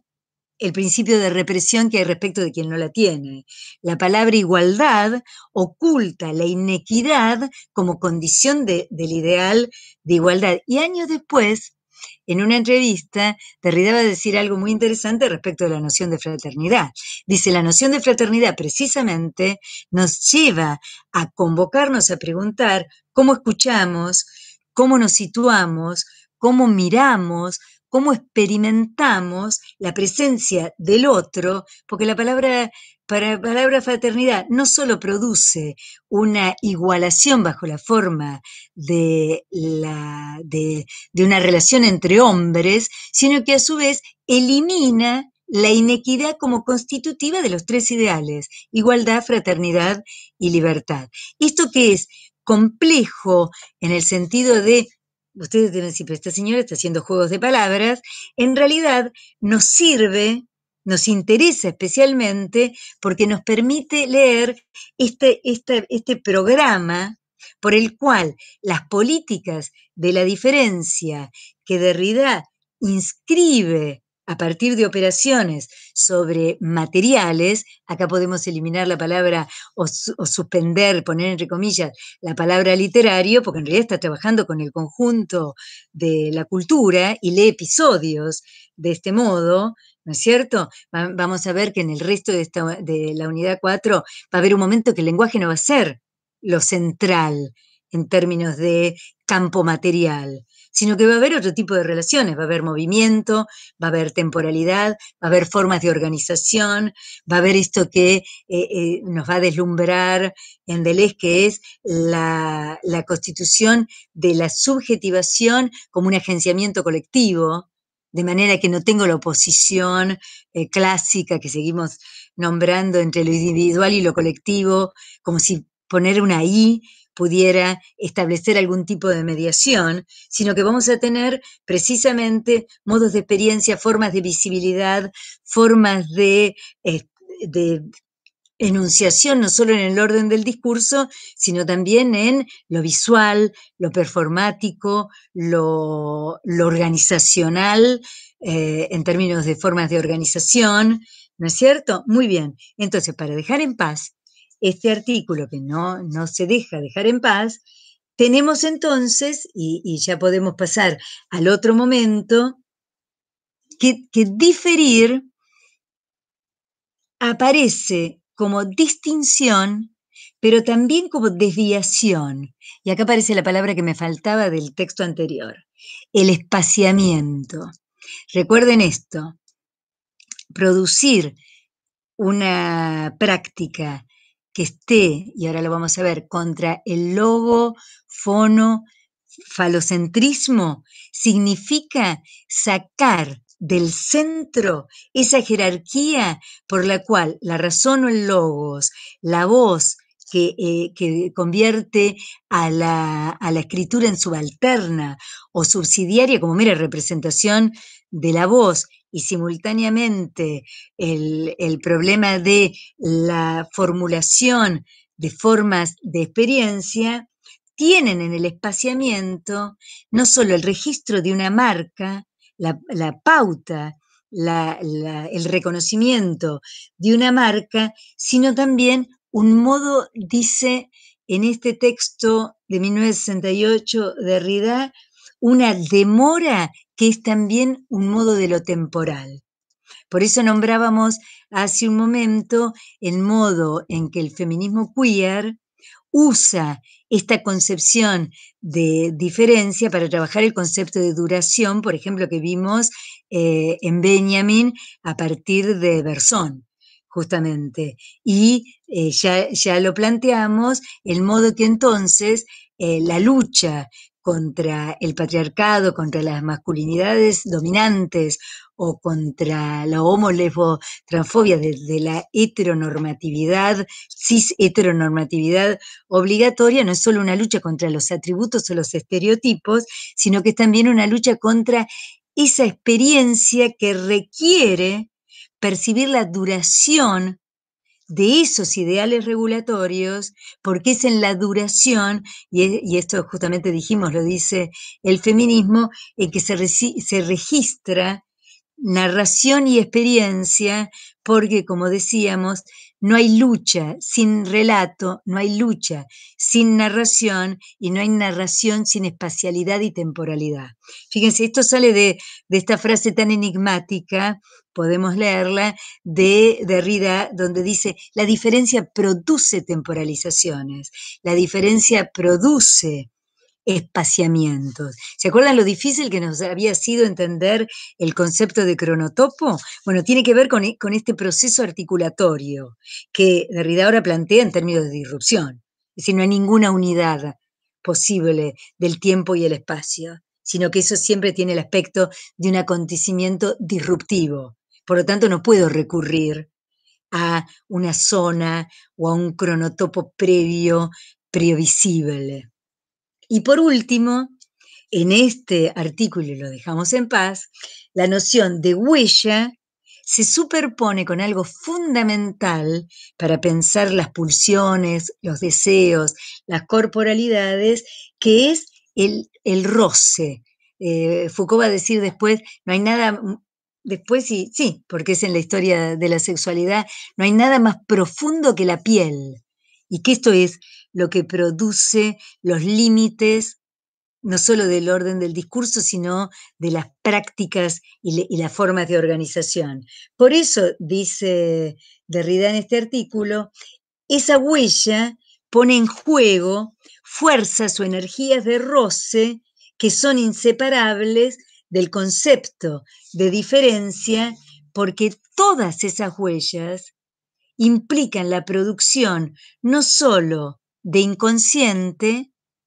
citando a Freud, sino también de procesos de inscripción que pueden ser luego recuperados como momentos de diferenciación. Este es el concepto de trauma que va a trabajar después eh, Derrida, muy poco, muy poco después, lo vamos a decir dentro de un momento, y que Dominique Lacapra toma en sus textos de literatura comparada o en sus textos sobre la, la indecibilidad, la imposibilidad de decir el trauma cuando discute el genocidio, pero fundamentalmente cuando discute la tarea que tiene la crítica literaria en el contexto de las humanidades como crítica del concepto de lo humano justamente, de esta noción de ser humano idéntico, entero, orgánico, que tiene que ver, ya nos lo explicaron Cristeva y, Butler, que tiene que ver con esa concepción de el hombre blanco cis heteronormativo propietario y educado del concepto de, ciudadanía de la Revolución Francesa allí a lo largo de todo el siglo XIX y gran parte del siglo XX. Pero entonces, dice Derrida, podremos llamar diferencia a esta discordia activa en movimiento de fuerzas diferentes en tanto diferencias de energías que implica, repetimos, una gramática contra toda forma de metafísica y de gramática donde gobiernen la cultura, la filosofía y la ciencia. Todo esto lo van a leer en La estructura, el signo y el juego en el discurso de las ciencias humanas y en la entrevista que produce Cristeva en su diálogo. Pero permítanme que entonces, antes de pasar al segundo momento que lo vamos a establecer alrededor de un seminario que entre 1981 y 1982 eh, da, eh, vieron que los seminarios son lugares de gran elaboración. la mitad de la obra que tenemos de Foucault resulta de un seminario. Gran parte de la obra que tenemos de Deleuze y de Guattari resulta de seminarios, bueno, y la, propia Judith Butler o Gayatri Spivak, ¿no es cierto? Teresa Lauretis. Muy bien. En 1987, me permito citarlo ahora eh, a contrapelo de la, línea histórica que estaba haciendo, Derrida le escribe en una carta a un amigo japonés, se llama así, carta a un amigo japonés, está en Derrida en español, en castellano, que está tratando de traducir la obra de Derrida al japonés, le escribe, que después esto aparece publicado como Invenciones del Otro,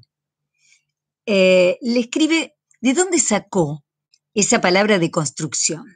Ustedes se acuerdan que nosotros habíamos hablado, nosotras, nosotros habíamos hablado de la lógica del aniquilamiento, la lógica de la destrucción en la dialéctica negativa de Adorno. Derrida se distancia de esa concepción y dice, cuando elegí la palabra o cuando la palabra se me impuso, no pensé que se le reconocería luego, inocente y discreto, un papel tan central en el discurso que por entonces me interesaba. Entre otras cosas, deseaba traducir y adaptar a lo que estaba diciendo las ideas heideggerianas de destrucción. Recordemos, dice, que la palabra destrucción en francés no corresponde con esta palabra alemana. En ese contexto, en el contexto que, estaba trabajando y que no correspondía con la palabra destrucción en francés, significaba una operación que se basa en la estructura o en la, arquitectura, es decir, nombra aquello que se construye. Pero en francés el término destrucción implicaba de modo demasiado visible una aniquilación, una reducción negativa, más cercana al concepto de demolición nietzscheana, ahí no suena el compañero Adorno, que la interpretación y el tipo de lectura que yo quería hacer. Por lo tanto, la descarté. Recuerdo, recuerdo haber buscado si la palabra deconstrucción era realmente francesa y la encontré en el diccionario Litré. Litré es como nuestro Larousse, todo francés. Allí los alcances gramaticales lingüísticos o retóricos se encontraban asociados a un alcance maquínico. Ahí termina la carta. Pero nosotros, por suerte, tenemos a su biógrafo,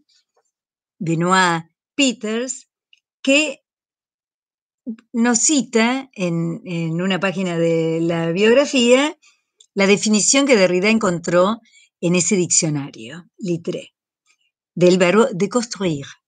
Y dice así, la primera acepción consiste en desamblar las partes de un todo, de construir una máquina para trasladarla, por ejemplo.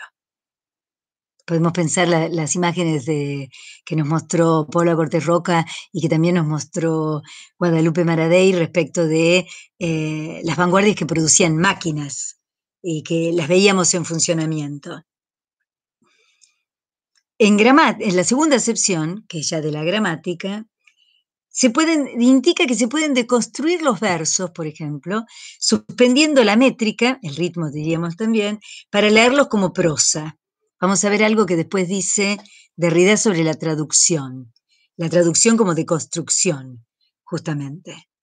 que es transformar completamente la literalidad de un texto. En tercer lugar, y esta es la que más nos interesa,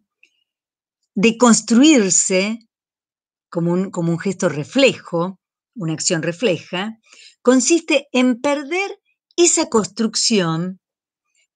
propia porque se aplica una ley del cambio, por ejemplo, a una situación. Acá están escuchando, sin duda, el, uso cotidiano, ya mediático, que se hace de la noción de deconstrucción cuando decimos hay que deconstruir las nociones de masculinidad que tenemos incorporadas, las nociones, las ficciones regulatorias de género, ¿no es cierto? Que tiene que ver con, e, esta matriz. Ahora bien, en el segundo momento que vamos a proponer, que ya entramos eh, de Derrida, esto implica entonces la deconstrucción que él llama un programa riesgoso, en el límite, en el borde de las instituciones. De hecho, eh, su biógrafo muestra lo infeliz que fue Derrida por, por las dificultades que tuvo de, conseguir y de tener un puesto académico que le hubiera permitido, incluso dice, yo creo de manera muy irónica, que eh, como no tenía un puesto eh, eh, universitario respetable en la Academia Francesa, no tenía secretaria, entonces tenía problemas para contestar las cartas, etcétera, etcétera. Pero es, es la marca de, un sufrimiento que se, que se lee en, la biografía, pero que también se lee en, algunos de los textos donde el problema del reconocimiento eh, que está recibiendo en Estados Unidos, a diferencia de la falta de, reconocimiento que tiene en la Academia Francesa, sigue siendo una marca que van a leer de manera eh, muy interesante en eh, lo que cuenta eh, Jorge Panesi sobre la biografía de Derrida, en tanto judío argelino, que incluso es expulsado de la escuela durante el nazismo, y eh, cómo esto le deja una marca que aparece en la concepción ya no del multiculturalismo o de, de los movimientos migratorios, sino directamente respecto de eh, la escucha, el testimonio o, la presencia del otro como una alteridad radical, no simplemente como una diferencia asimilable, ¿no es cierto? Pero entonces, ¿qué aparece aquí? El valor crítico de esa diferencia ya no es simplemente el, desplazamiento, la condensación, el retardo en términos de ese diferimiento fundamental respecto de las marcas y de las huellas, sino que incluye de modo interpelativo una responsabilidad respecto de esa alteridad. Por eso es muy importante que podamos diferenciar la noción de diferencia de la noción de heterogeneidad de la noción de alteridad radical, porque es lo que está en juego eh, en este debate. Porque es allí justamente donde Derrida puede introducir esta concepción de la huella o el roce como un problema de corporalidades, pero también el cuerpo del Estado, por ejemplo, eh, como un cuerpo que no es solo represivo, sino productor, estimulador de relaciones. Entonces, este segundo momento que queremos nombrar, porque eh, tiene, tienen ustedes una bibliografía que tenemos que enmarcar para que puedan leer, es aquel momento en que decíamos, entre 1981 y 1982, Derrida produjo su seminario sobre naciones y nacionalismos y eh, dicta en, San Sebastián, en, en, el País Vasco, ahí se debe haber enfrentado porque era un momento muy álgido de la represión y el encarcelamiento a, las organizaciones vascas, eh, Derrida dicta un seminario donde aparecen los títulos Nietzsche, Políticas del Nombre Propio, por ejemplo, y eh, está ya eh, en términos de una relación compleja con eh, el otro lado del muro, podríamos decir, porque esto lo cuenta Jorge en sus clases que las tenemos desgrabadas, porque en ese mismo año se va a Praga a dar un seminario y eh, tiene una experiencia eh, con la policía que lo detiene en la frontera y le plantea que se dedica al tráfico de drogas. Todo eso está, está analizado en un texto traducido por por Jorge, eh, cuyo título es Pasiones, eh, justamente, y si no, en La historia de la mentira. En La historia de la mentira, eh, traducido y publicado por nuestra facultad, con prólogo, insisto, de Jorge Panesi, aparece este problema de lo que ha sufrido eh, en esa persecución cuando como académico internacional global eh, vive de conferencia en conferencia, de curso o seminario en curso o seminario. Eh, allí es justamente donde podemos reconocer en 1982 un texto que resulta de una conferencia leída en Francia, de un coloquio, eh, de 1982 que tiene por título el siguiente texto que les pedimos que lean, que es Ante la ley, y que se integra, eh, por eso es fascinante, ese volumen eh, se integra a un volumen de, de Granica, cuyo título es La filosofía como institución, que nombramos antes, cuando nombramos eh, eh, políticas del nombre propio, Nietzsche, pero también podríamos nombrar un trabajo sobre conflicto de facultades eh, de Kant, otro sobre el lugar que ocupa un texto de Descartes escrito directamente en francés, no en latín, como un problema de políticas de la lengua, y otra serie de textos que son justamente estos que son tan interesantes hoy porque trabajan el problema del borde, el límite o la frontera, insisto, como lugar de condensación y diferimiento simultáneo de la violencia y del valor. En Ante la Ley, que es lo que les pedimos que lean, eh, Derrida trabaja el Apolo, ya lo nombramos, que está en el interior de la novela El proceso de Kafka, y representa parte de lo que hemos estado discutiendo. Después lo vamos a retomar. Em,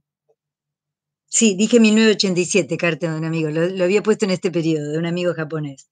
Y en 1985 produce una conferencia en Montevideo y luego en Buenos Aires con el título Nacionalidad y Nacionalismo Filosófico. Es decir, es el, momento en que el proyecto intelectual y político, la deconstrucción, trabaja directamente sobre los efectos que esas ficciones regulatorias, insistamos en el, en el término, tienen respecto de las relaciones eh, políticas, pero también de, de la experiencia de los derechos y la posibilidad de organización política le pedimos que lean ese texto ante la ley, em, que es muy explícito, es largo, pero es muy explícito y se disfruta muchísimo, en relación con una entrevista que tenemos la suerte de tener a partir del 2017, porque antes solo la teníamos en inglés y no la podíamos compartir, que tradujo un grupo de investigación que son colegas y amigos de, de nuestra cátedra, son muy amigos de, de Jorge Panesi, que es el Centro de Estudios de Teoría y Crítica Literaria de la Universidad de Rosario, que en octubre de del 2017 eh, publica en su boletín, y ustedes lo van a tener en el campus,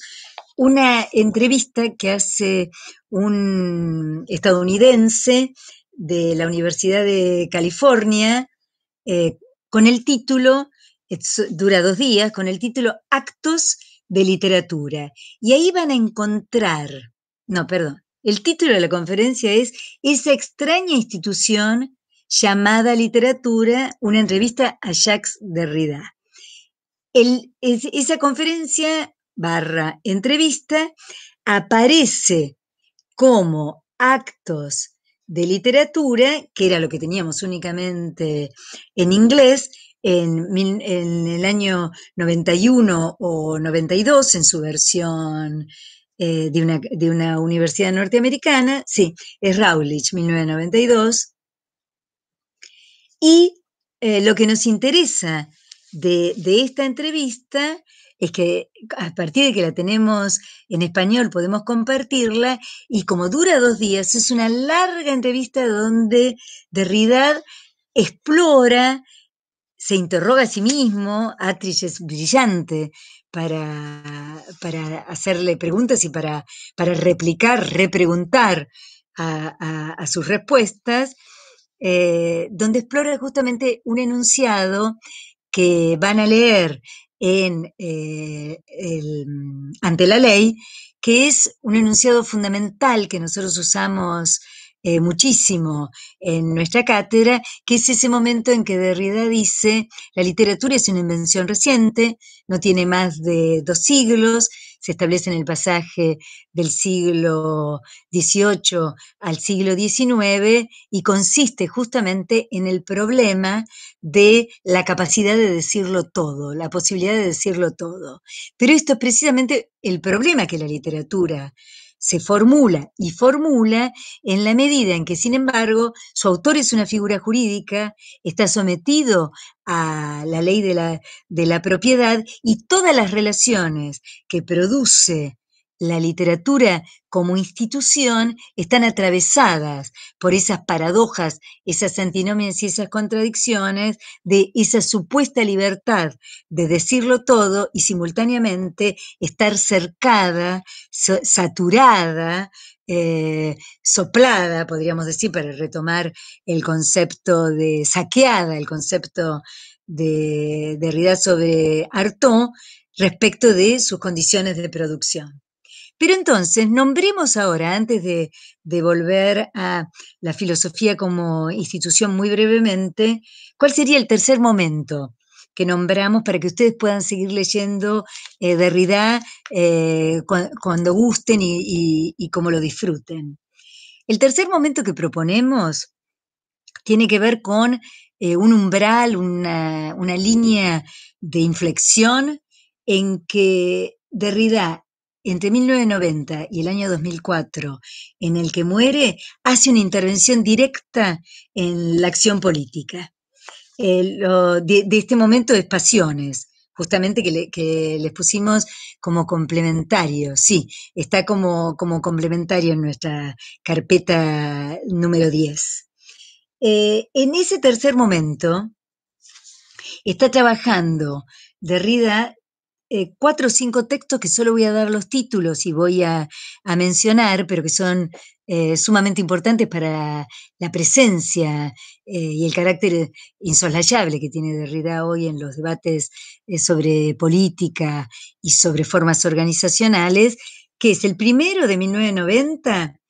el título que, ya, le ya habíamos comentado, me parece que es Derrida, perdón, Fuerza de Ley, el fundamento místico de la autoridad, donde plantea justamente el concepto de repetición, diferencia, desplazamiento y diferimiento desde la pregunta que nos habíamos hecho antes sobre qué es lo que sostiene la ley que hace, como el campesino que espera ante la ley que el guardián lo deja entrar hasta el momento en que, en que ya está eh, por morir y entonces el guardián le dice, en realidad esta, este estaba, esta puerta, este modo de acceso a la ley te estaba destinado solo a vos. La pregunta que se hace de Derrida en Fuerza de Ley, el fundamento místico de la autoridad, es justamente de dónde sale esa capacidad de sostener la ley. En, francés y en español, la frase en inglés que usa eh, Derrida suele traducirse como aplicar la ley, pero tiene que ver con eso que escuchamos permanentemente en las tramas policiales, en la cultura mediática, sobre la ley y el orden, cuando decimos enforce the law, que es la, la fuerza de la ley como configuradora de la ley. Es decir, hay una ley que solo existe por una fuerza de, su propia configuración. Y esa configuración no le pertenece a la ley como identidad, sino que tiene que ver con un acto público, activo, y después va a decir eh, Derrida en sus últimos textos, soberano. La pregunta que se hace allí es, si el derecho, y recuerden que habíamos hablado de cómo interviene Derrida en las revistas sobre teoría crítica del derecho y, empieza a trabajar en este momento eh, de manera muy fuerte la relación entre derecho, justicia, legitimación, capacidad de acción y donde la autonomía ya no es simplemente una distancia o una configuración de un sistema con sus propias reglas y principios de funcionamiento, sino que la autonomía es la pregunta respecto de eh, qué puedo hacer sobre mi propio cuerpo, cómo, cómo tengo una cierta soberanía disputada en términos de energía colectiva respecto de los límites de mi cuerpo para vivir sin tutela del Estado, de la institución psiquiátrica, de la institución carcelaria, que es la función que tiene en la modernidad el Estado, precisamente. Lo que dice en ese texto es que el primer problema que se propone el fundamento místico de la autoridad es que hay una alusión directa, literal, en fuerza de ley, a la fuerza que desde el interior de la ley viene a recordarnos que el derecho es fundamentalmente una fuerza autorizada, una fuerza que se justifica o que está justificada al aplicarse. Hay una performatividad de la ley también. Incluso si esta justificación puede ser juzgada desde otro lugar como injusta o injustificable. Es el momento en que Derrida empieza a trabajar con esto que comentábamos de la Corte Penal Internacional respecto de las planificaciones del genocidio y que no solo tiene que ver con eh, la Shoah, sino con la persistencia de la posibilidad del Estado de planificar un genocidio en, en sus propios límites, dentro de sus propias fronteras. Algo que se juzga, por primera vez aclaremos, respecto de la Shoah en el juicio de Nuremberg, por ejemplo. Esto es lo que inaugura el juicio eh, de Nuremberg como, como revolucionario y por eso inaugura una nueva concepción de, de, los derechos humanos que ya no corresponde solo con, como muy bien dice Hannah Arendt, el derecho a tener derechos, sino también el derecho a reclamar un acceso ante el Estado,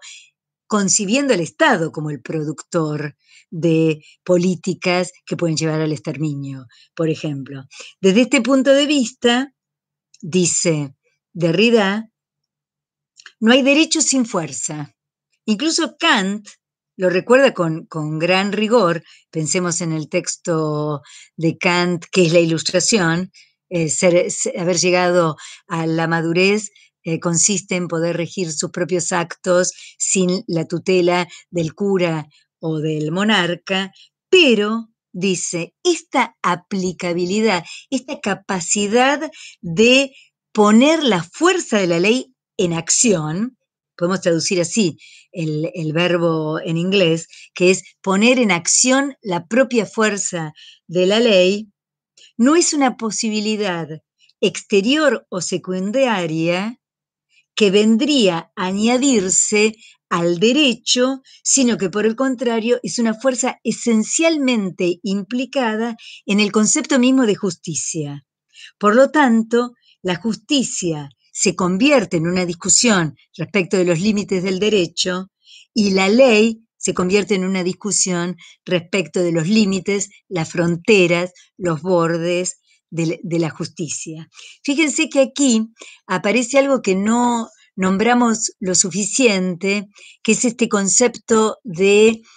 el exceso que produce el borde, la frontera o el límite como violencia, y que en, el primer momento de, que habíamos mencionado de la obra de, de Derrida, a partir del proyecto de la deconstrucción, tenía diversas formulaciones que ahora aparece de modo muy claro en la palabra performatividad de la ley. ¿No es cierto? En, en el primer momento que habíamos planteado, cuando lee a Rousseau, a Nietzsche, a, Freud y, incluso la filosofía antigua, el concepto de excedente aparecía bajo la forma de un suplemento. Y entonces, por ejemplo, eh, les, digo, les nombro solo cuatro eh, metáforas de ese suplemento para que vean el carácter productivo como operación respecto de, los límites, los bordes, tanto de las instituciones como ahora de la ley respecto de la justicia y el derecho. En el caso del Fedro de Platón, eh, la metáfora de ese exceso o suplemento es el fármaco, que presupone tanto un remedio como un veneno. En el caso de la, del Rousseau y el origen de las lenguas, la metáfora para ese exceso o suplemento presupone una distinción que produce Rousseau respecto de las lenguas eh, que, viven en los continentes eh, fríos racionales y las lenguas que viven en los continentes cálidos o, de las emociones y los melodramas, ¿no es cierto? Estoy, estoy simplificando. Pero entonces el suplemento es precisamente algo que habíamos escuchado en alguna medida en el modo en que Adorno leía a Hegel, que es en realidad eh, el sistema clasificatorio que propone Rousseau en el origen de las lenguas incluye su propia decadencia, su propia eh, posibilidad de muerte, justamente porque ese sistema clasificatorio estaría estableciendo una jerarquía por la cual esas lenguas de lo cálido, lo, melodramático, podríamos decir lo mediterráneo, constituyen también lo oscuro, lo, lo, que es necesario controlar, lo que es necesario reprimir. Por lo tanto, el propio sistema clasificatorio ensalza y reprime. En el caso de eh, Hegel, y vamos a dejar ya estos ejemplos para no fatigarnos más aún, la palabra fascinante que usa y que necesitamos ahora Derrida es la palabra tímpano, porque dice que en realidad el tímpano funciona en la filosofía como un desafío a la pregunta, ¿qué es lo que escucha el filósofo en su producción? ¿Qué escucha del otro? Por eso, por eso recuerden ese texto fundamental, fascinante, que empieza con una conferencia y termina eh, con un libro cuyo título es El monolingüismo del otro, donde él se pregunta, ¿alcanza con reconocer el multiculturalismo como una diferencia a ser integrada, alcanza con haber eh, deconstruido el sistema colonial francés si persiste como regla eh, colonial en la francofonía? Todas estas preguntas que se hace Derrida en el caso de la lectura de Hegel a través de ese concepto de tímpano, es que es esa figura doble, paradójica y, reversible, es justamente esto de la pregunta, ¿escucha el, el filósofo? ¿Qué hace con lo que oye el filósofo? Por eso en, este momento que queremos mencionar ahora, que sería el último momento hasta su muerte en el, 2004, toda la obra de la producción de Derrida, que además es febril, que vive de conferencia en conferencia, de intervención, empieza a intervenir en, televisión, publica un libro sobre la televisión que publicó acá y que compramos este, en, estado de, ansiedad en el momento en que se publicó,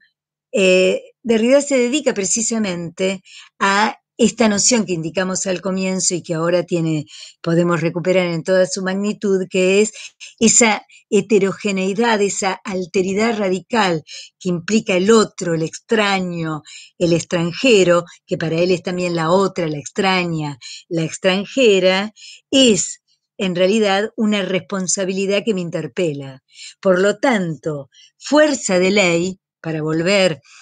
este texto fundamental, porque también se relaciona con un texto del mismo año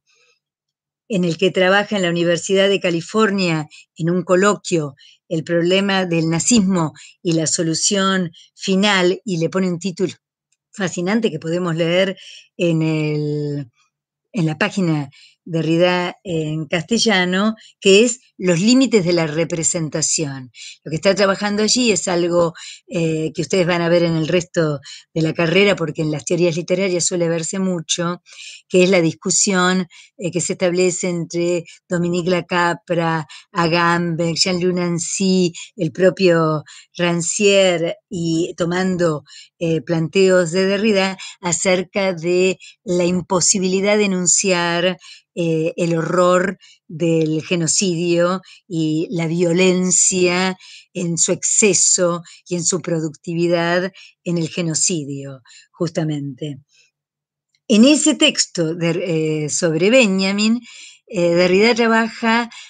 algo que no pudimos mencionar porque este año eh, tuvimos eh, este, esta situación singular, que es un texto de Benjamin con el título Para una crítica de la violencia, donde Benjamin plantea, y hoy es,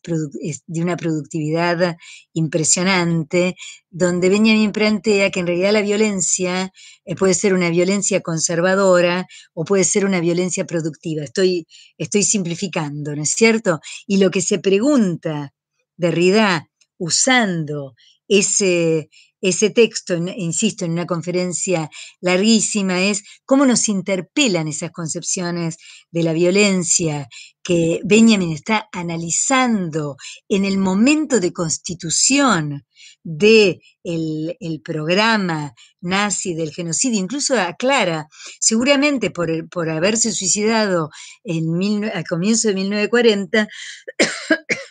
Benjamin no tuvo ninguna posibilidad de conocer la experiencia de la elaboración de la solución final, que luego se, conoció y tuvo eh, un juicio específico en la ciudad de, mm, de, Frankfurt, que es el juicio Auschwitz, que es un juicio alemán en relación con el juicio que se hace en el Estado de Israel en Jerusalén, sobre el que habla eh, de manera tan, tan desafiante Hannah Arendt, que es el juicio a Eichmann, ¿no es cierto? Entonces, en ese trabajo sobre, eh, para una crítica de la violencia de Benjamin, Derrida expande esta noción de el fundamento místico de la autoridad desde las formas de la violencia y plantea justamente esto que estábamos nombrando, que es la puesta en acto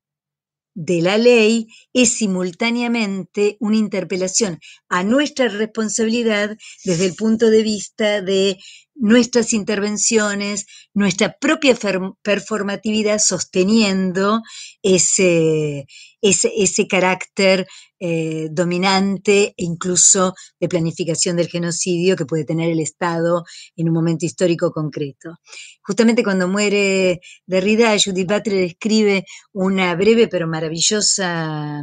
nota de elogio eh, donde, donde historiza las categorías y mm, se las apropia, obviamente, eh, como, como, estamos viendo en todas las unidades de nuestro programa, y dice que en realidad lo que interesa de, la deconstrucción en Derrida es como de esa primera concepción de la diferencia como diferimiento y suplemento, aparece en términos de la marca o la huella una pregunta por la constitución de la justicia y de la,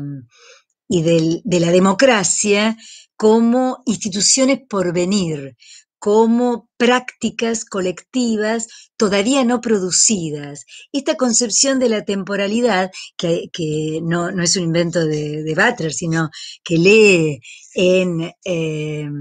en estos textos de lo que yo estoy llamando el último momento eh, de Derrida, es justamente lo que nos permite retomar en Pasiones, el texto traducido por Jorge Panesi, que además van a, van a disfrutar el modo en que, en que Panesi traduce, se inscribe en los trabajos sobre la hospitalidad, donde se hace esa pregunta que ya nombramos eh, respecto de eh, cómo es posible un acto de eh, acogida del extranjero en, la violencia que se está produciendo ahora en los desplazamientos migratorios respecto de la exclusión y la represión. Recuerden esta frase que nombramos muy al principio cuando dijimos que la caída, los atentados en Nueva York hacen que Derrida y Habermas trabajen juntos eh, el problema de la filosofía europea, se interpelan desde ese lugar y Derrida produce un texto maravilloso donde dice precisamente que al concepto de civilización europea en la filosofía como institución solo le queda de, a partir de, las experiencias desde 1989 hasta ese momento, eh, como recurso, la xenofobia, la planificación de formas de exterminio y fundamentalmente la exclusión y la proscripción eh, política. En este punto es que me interesa nombrar, para ya ir cerrando, un texto eh, del 2001, que está en la página de Rida en castellano, donde trabaja el problema de la justicia y el perdón, el problema en relación con, con la hospitalidad, y políticas de la amistad, que no, lo hemos nombrado hasta ahora, pero que, se ha convertido en un texto dominante. Es muy, es muy interesante para quienes lo leímos ávidamente en el momento en, en que Derrida era más el filósofo de la deconstrucción, cómo estos textos, que son en realidad textos altamente políticos, son lo que hoy, lo que hoy se lee. ¿no es cierto? De Derrida. Incluso en nuestra facultad, Mónica Craniolini dirige una maestría sobre procesos de subjetivación que tienen estos textos y, ella tiene un proyecto de investigación que tiene estos textos un núcleo fundamental de interrogación respecto de lo viviente, lo animal, eh, la hospitalidad como un modo de existencia y de estar en el mundo, porque no hemos nombrado lo suficiente a Heidegger, pero como dice Jorge Panesi, lo van a leer en la clase desgrabada, hay un momento, esto es de Jorge Panesi, hay un momento en que toda la obra de Derrida podría ser considerada una nota al pie a la obra de Heidegger. En el 2001, eh, Derrida recibe un premio, eh, el premio Adorno, lo, lo recibe en Frankfurt, y produce un texto exquisito eh, donde retoma aquellas aporías de las que hablamos de Adorno en la unidad 2, pero se pregunta allí, no por las dicotomías que, ya vimos cómo, cómo formula y cómo deconstruye, sino que se pregunta por el problema de las responsabilidades políticas. Hacia el final hace una mención a la caída de la torre y a los atentados porque es del 22 de septiembre del 2001 y se pregunta cómo esa heterogeneidad radical que venimos nombrando en, en el 2001 produce en realidad una interpelación una responsabilidad política para, para compartir un porvenir posible en que el humano sea reformulado. Imagínense si hubiera vivido la pandemia que estamos atravesando, ¿no es cierto? Entonces dice, Europa se debe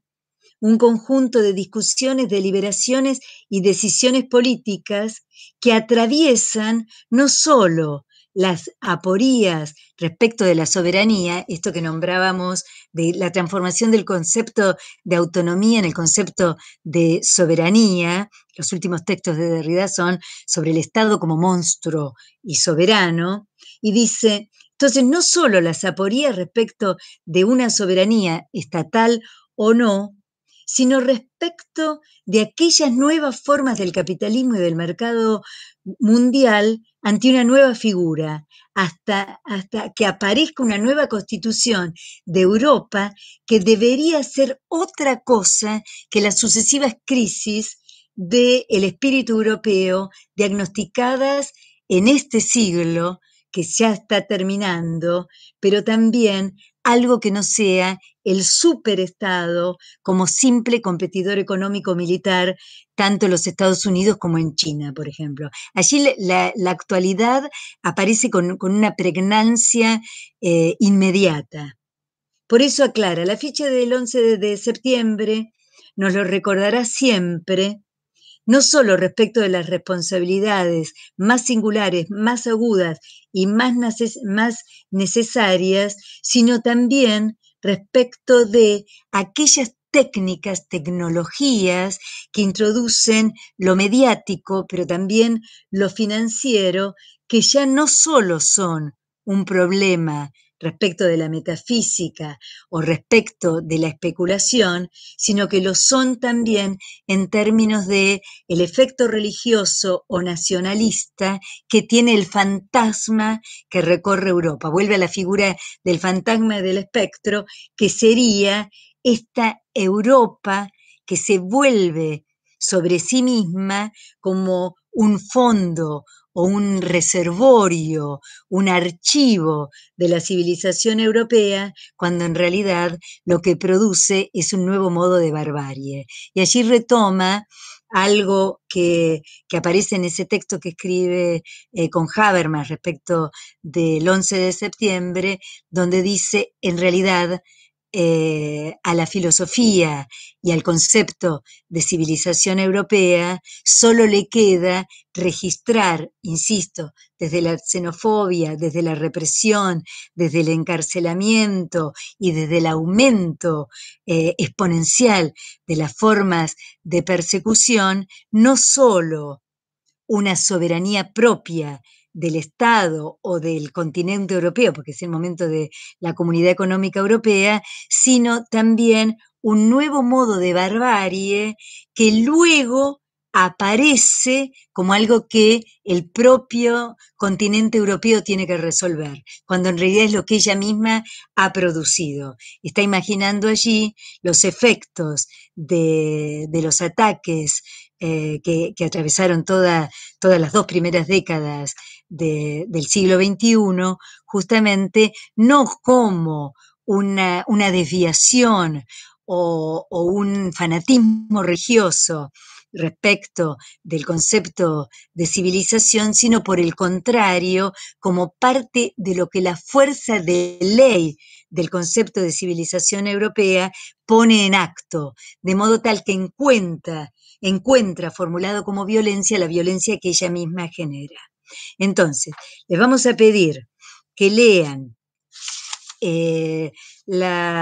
ante la ley y la entrevista larga y interesantísima que Atrich le, hace a Derrida respecto del el Estatuto de la Literatura, no solo en el proyecto de la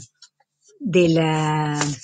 deconstrucción, sino también en, su proyecto político eh, contemporáneo eh, como responsabilidad, y nos quedaría nombrar entonces eh, el modo en que produce eh, en ese mismo momento un parlamento de los intelectuales para hacerse cargo de eh, las formas de censura, de represión, de la subsistencia de delitos de lesa humanidad, o por ejemplo, la legalización de, la tortura bajo la forma de, los dilemas éticos planteados desde, desde las constituciones de los propios estados. Entonces, les vamos a pedir que lean ante la ley, que lo acompañen con eh, la conferencia, perdón, la entrevista de Derek Atrich y que eh, atraviesen la lectura de eh, pasiones, porque allí donde aparece un concepto de lo autobiográfico que nos interesa especialmente porque eh, vamos a ver cómo eh, trabaja la relación en, en, fuerza de ley entre testimonio, dar y recibir testimonio, los modos de la escucha del testimonio, en que la autobiografía presupone una nueva eh, figura doble del suplemento o el exceso eh, que consiste precisamente en estar interpelados emplazados a dar cuenta de quiénes somos y simultáneamente no, poder evitar eh, producir con fruición textos que eh, podemos considerar autobiográficos. Por eso eh, Derrida dice, en realidad lo que he hecho toda mi vida es escribir mi autobiografía y Jorge Panesi tiene un texto maravilloso en, en el primer tomo de críticas, ahora tenemos eh, ya publicado desde hace dos años el segundo tomo de críticas, en que trabaja justamente el estatuto de la autobiografía en el proyecto intelectual y político de la deconstrucción de Derrida. Bueno, eh, todo lo, que seguimos discutiendo de esta unidad 4 en realidad tiene que ver con algo que no exploramos lo suficiente hoy, que es, pero entonces, ¿cuál es el concepto de políticas de la diferencia? Ya con Fermín Rodríguez vieron bastante respecto y de manera muy interesante respecto de cómo lo propone eh, Jacques Rancière y entonces Ahora lo, que nos vamos a preguntar es, ¿existe una política de la diferencia en el proyecto intelectual de la deconstrucción? ¿Una respuesta provisoria eh, en este momento eh, que queda abierta? Eh, puede ser, sí, precisamente en este pasaje de la demolición, desarticulación maquínica de la relación entre filosofía idealista, eh, semiótica estructuralista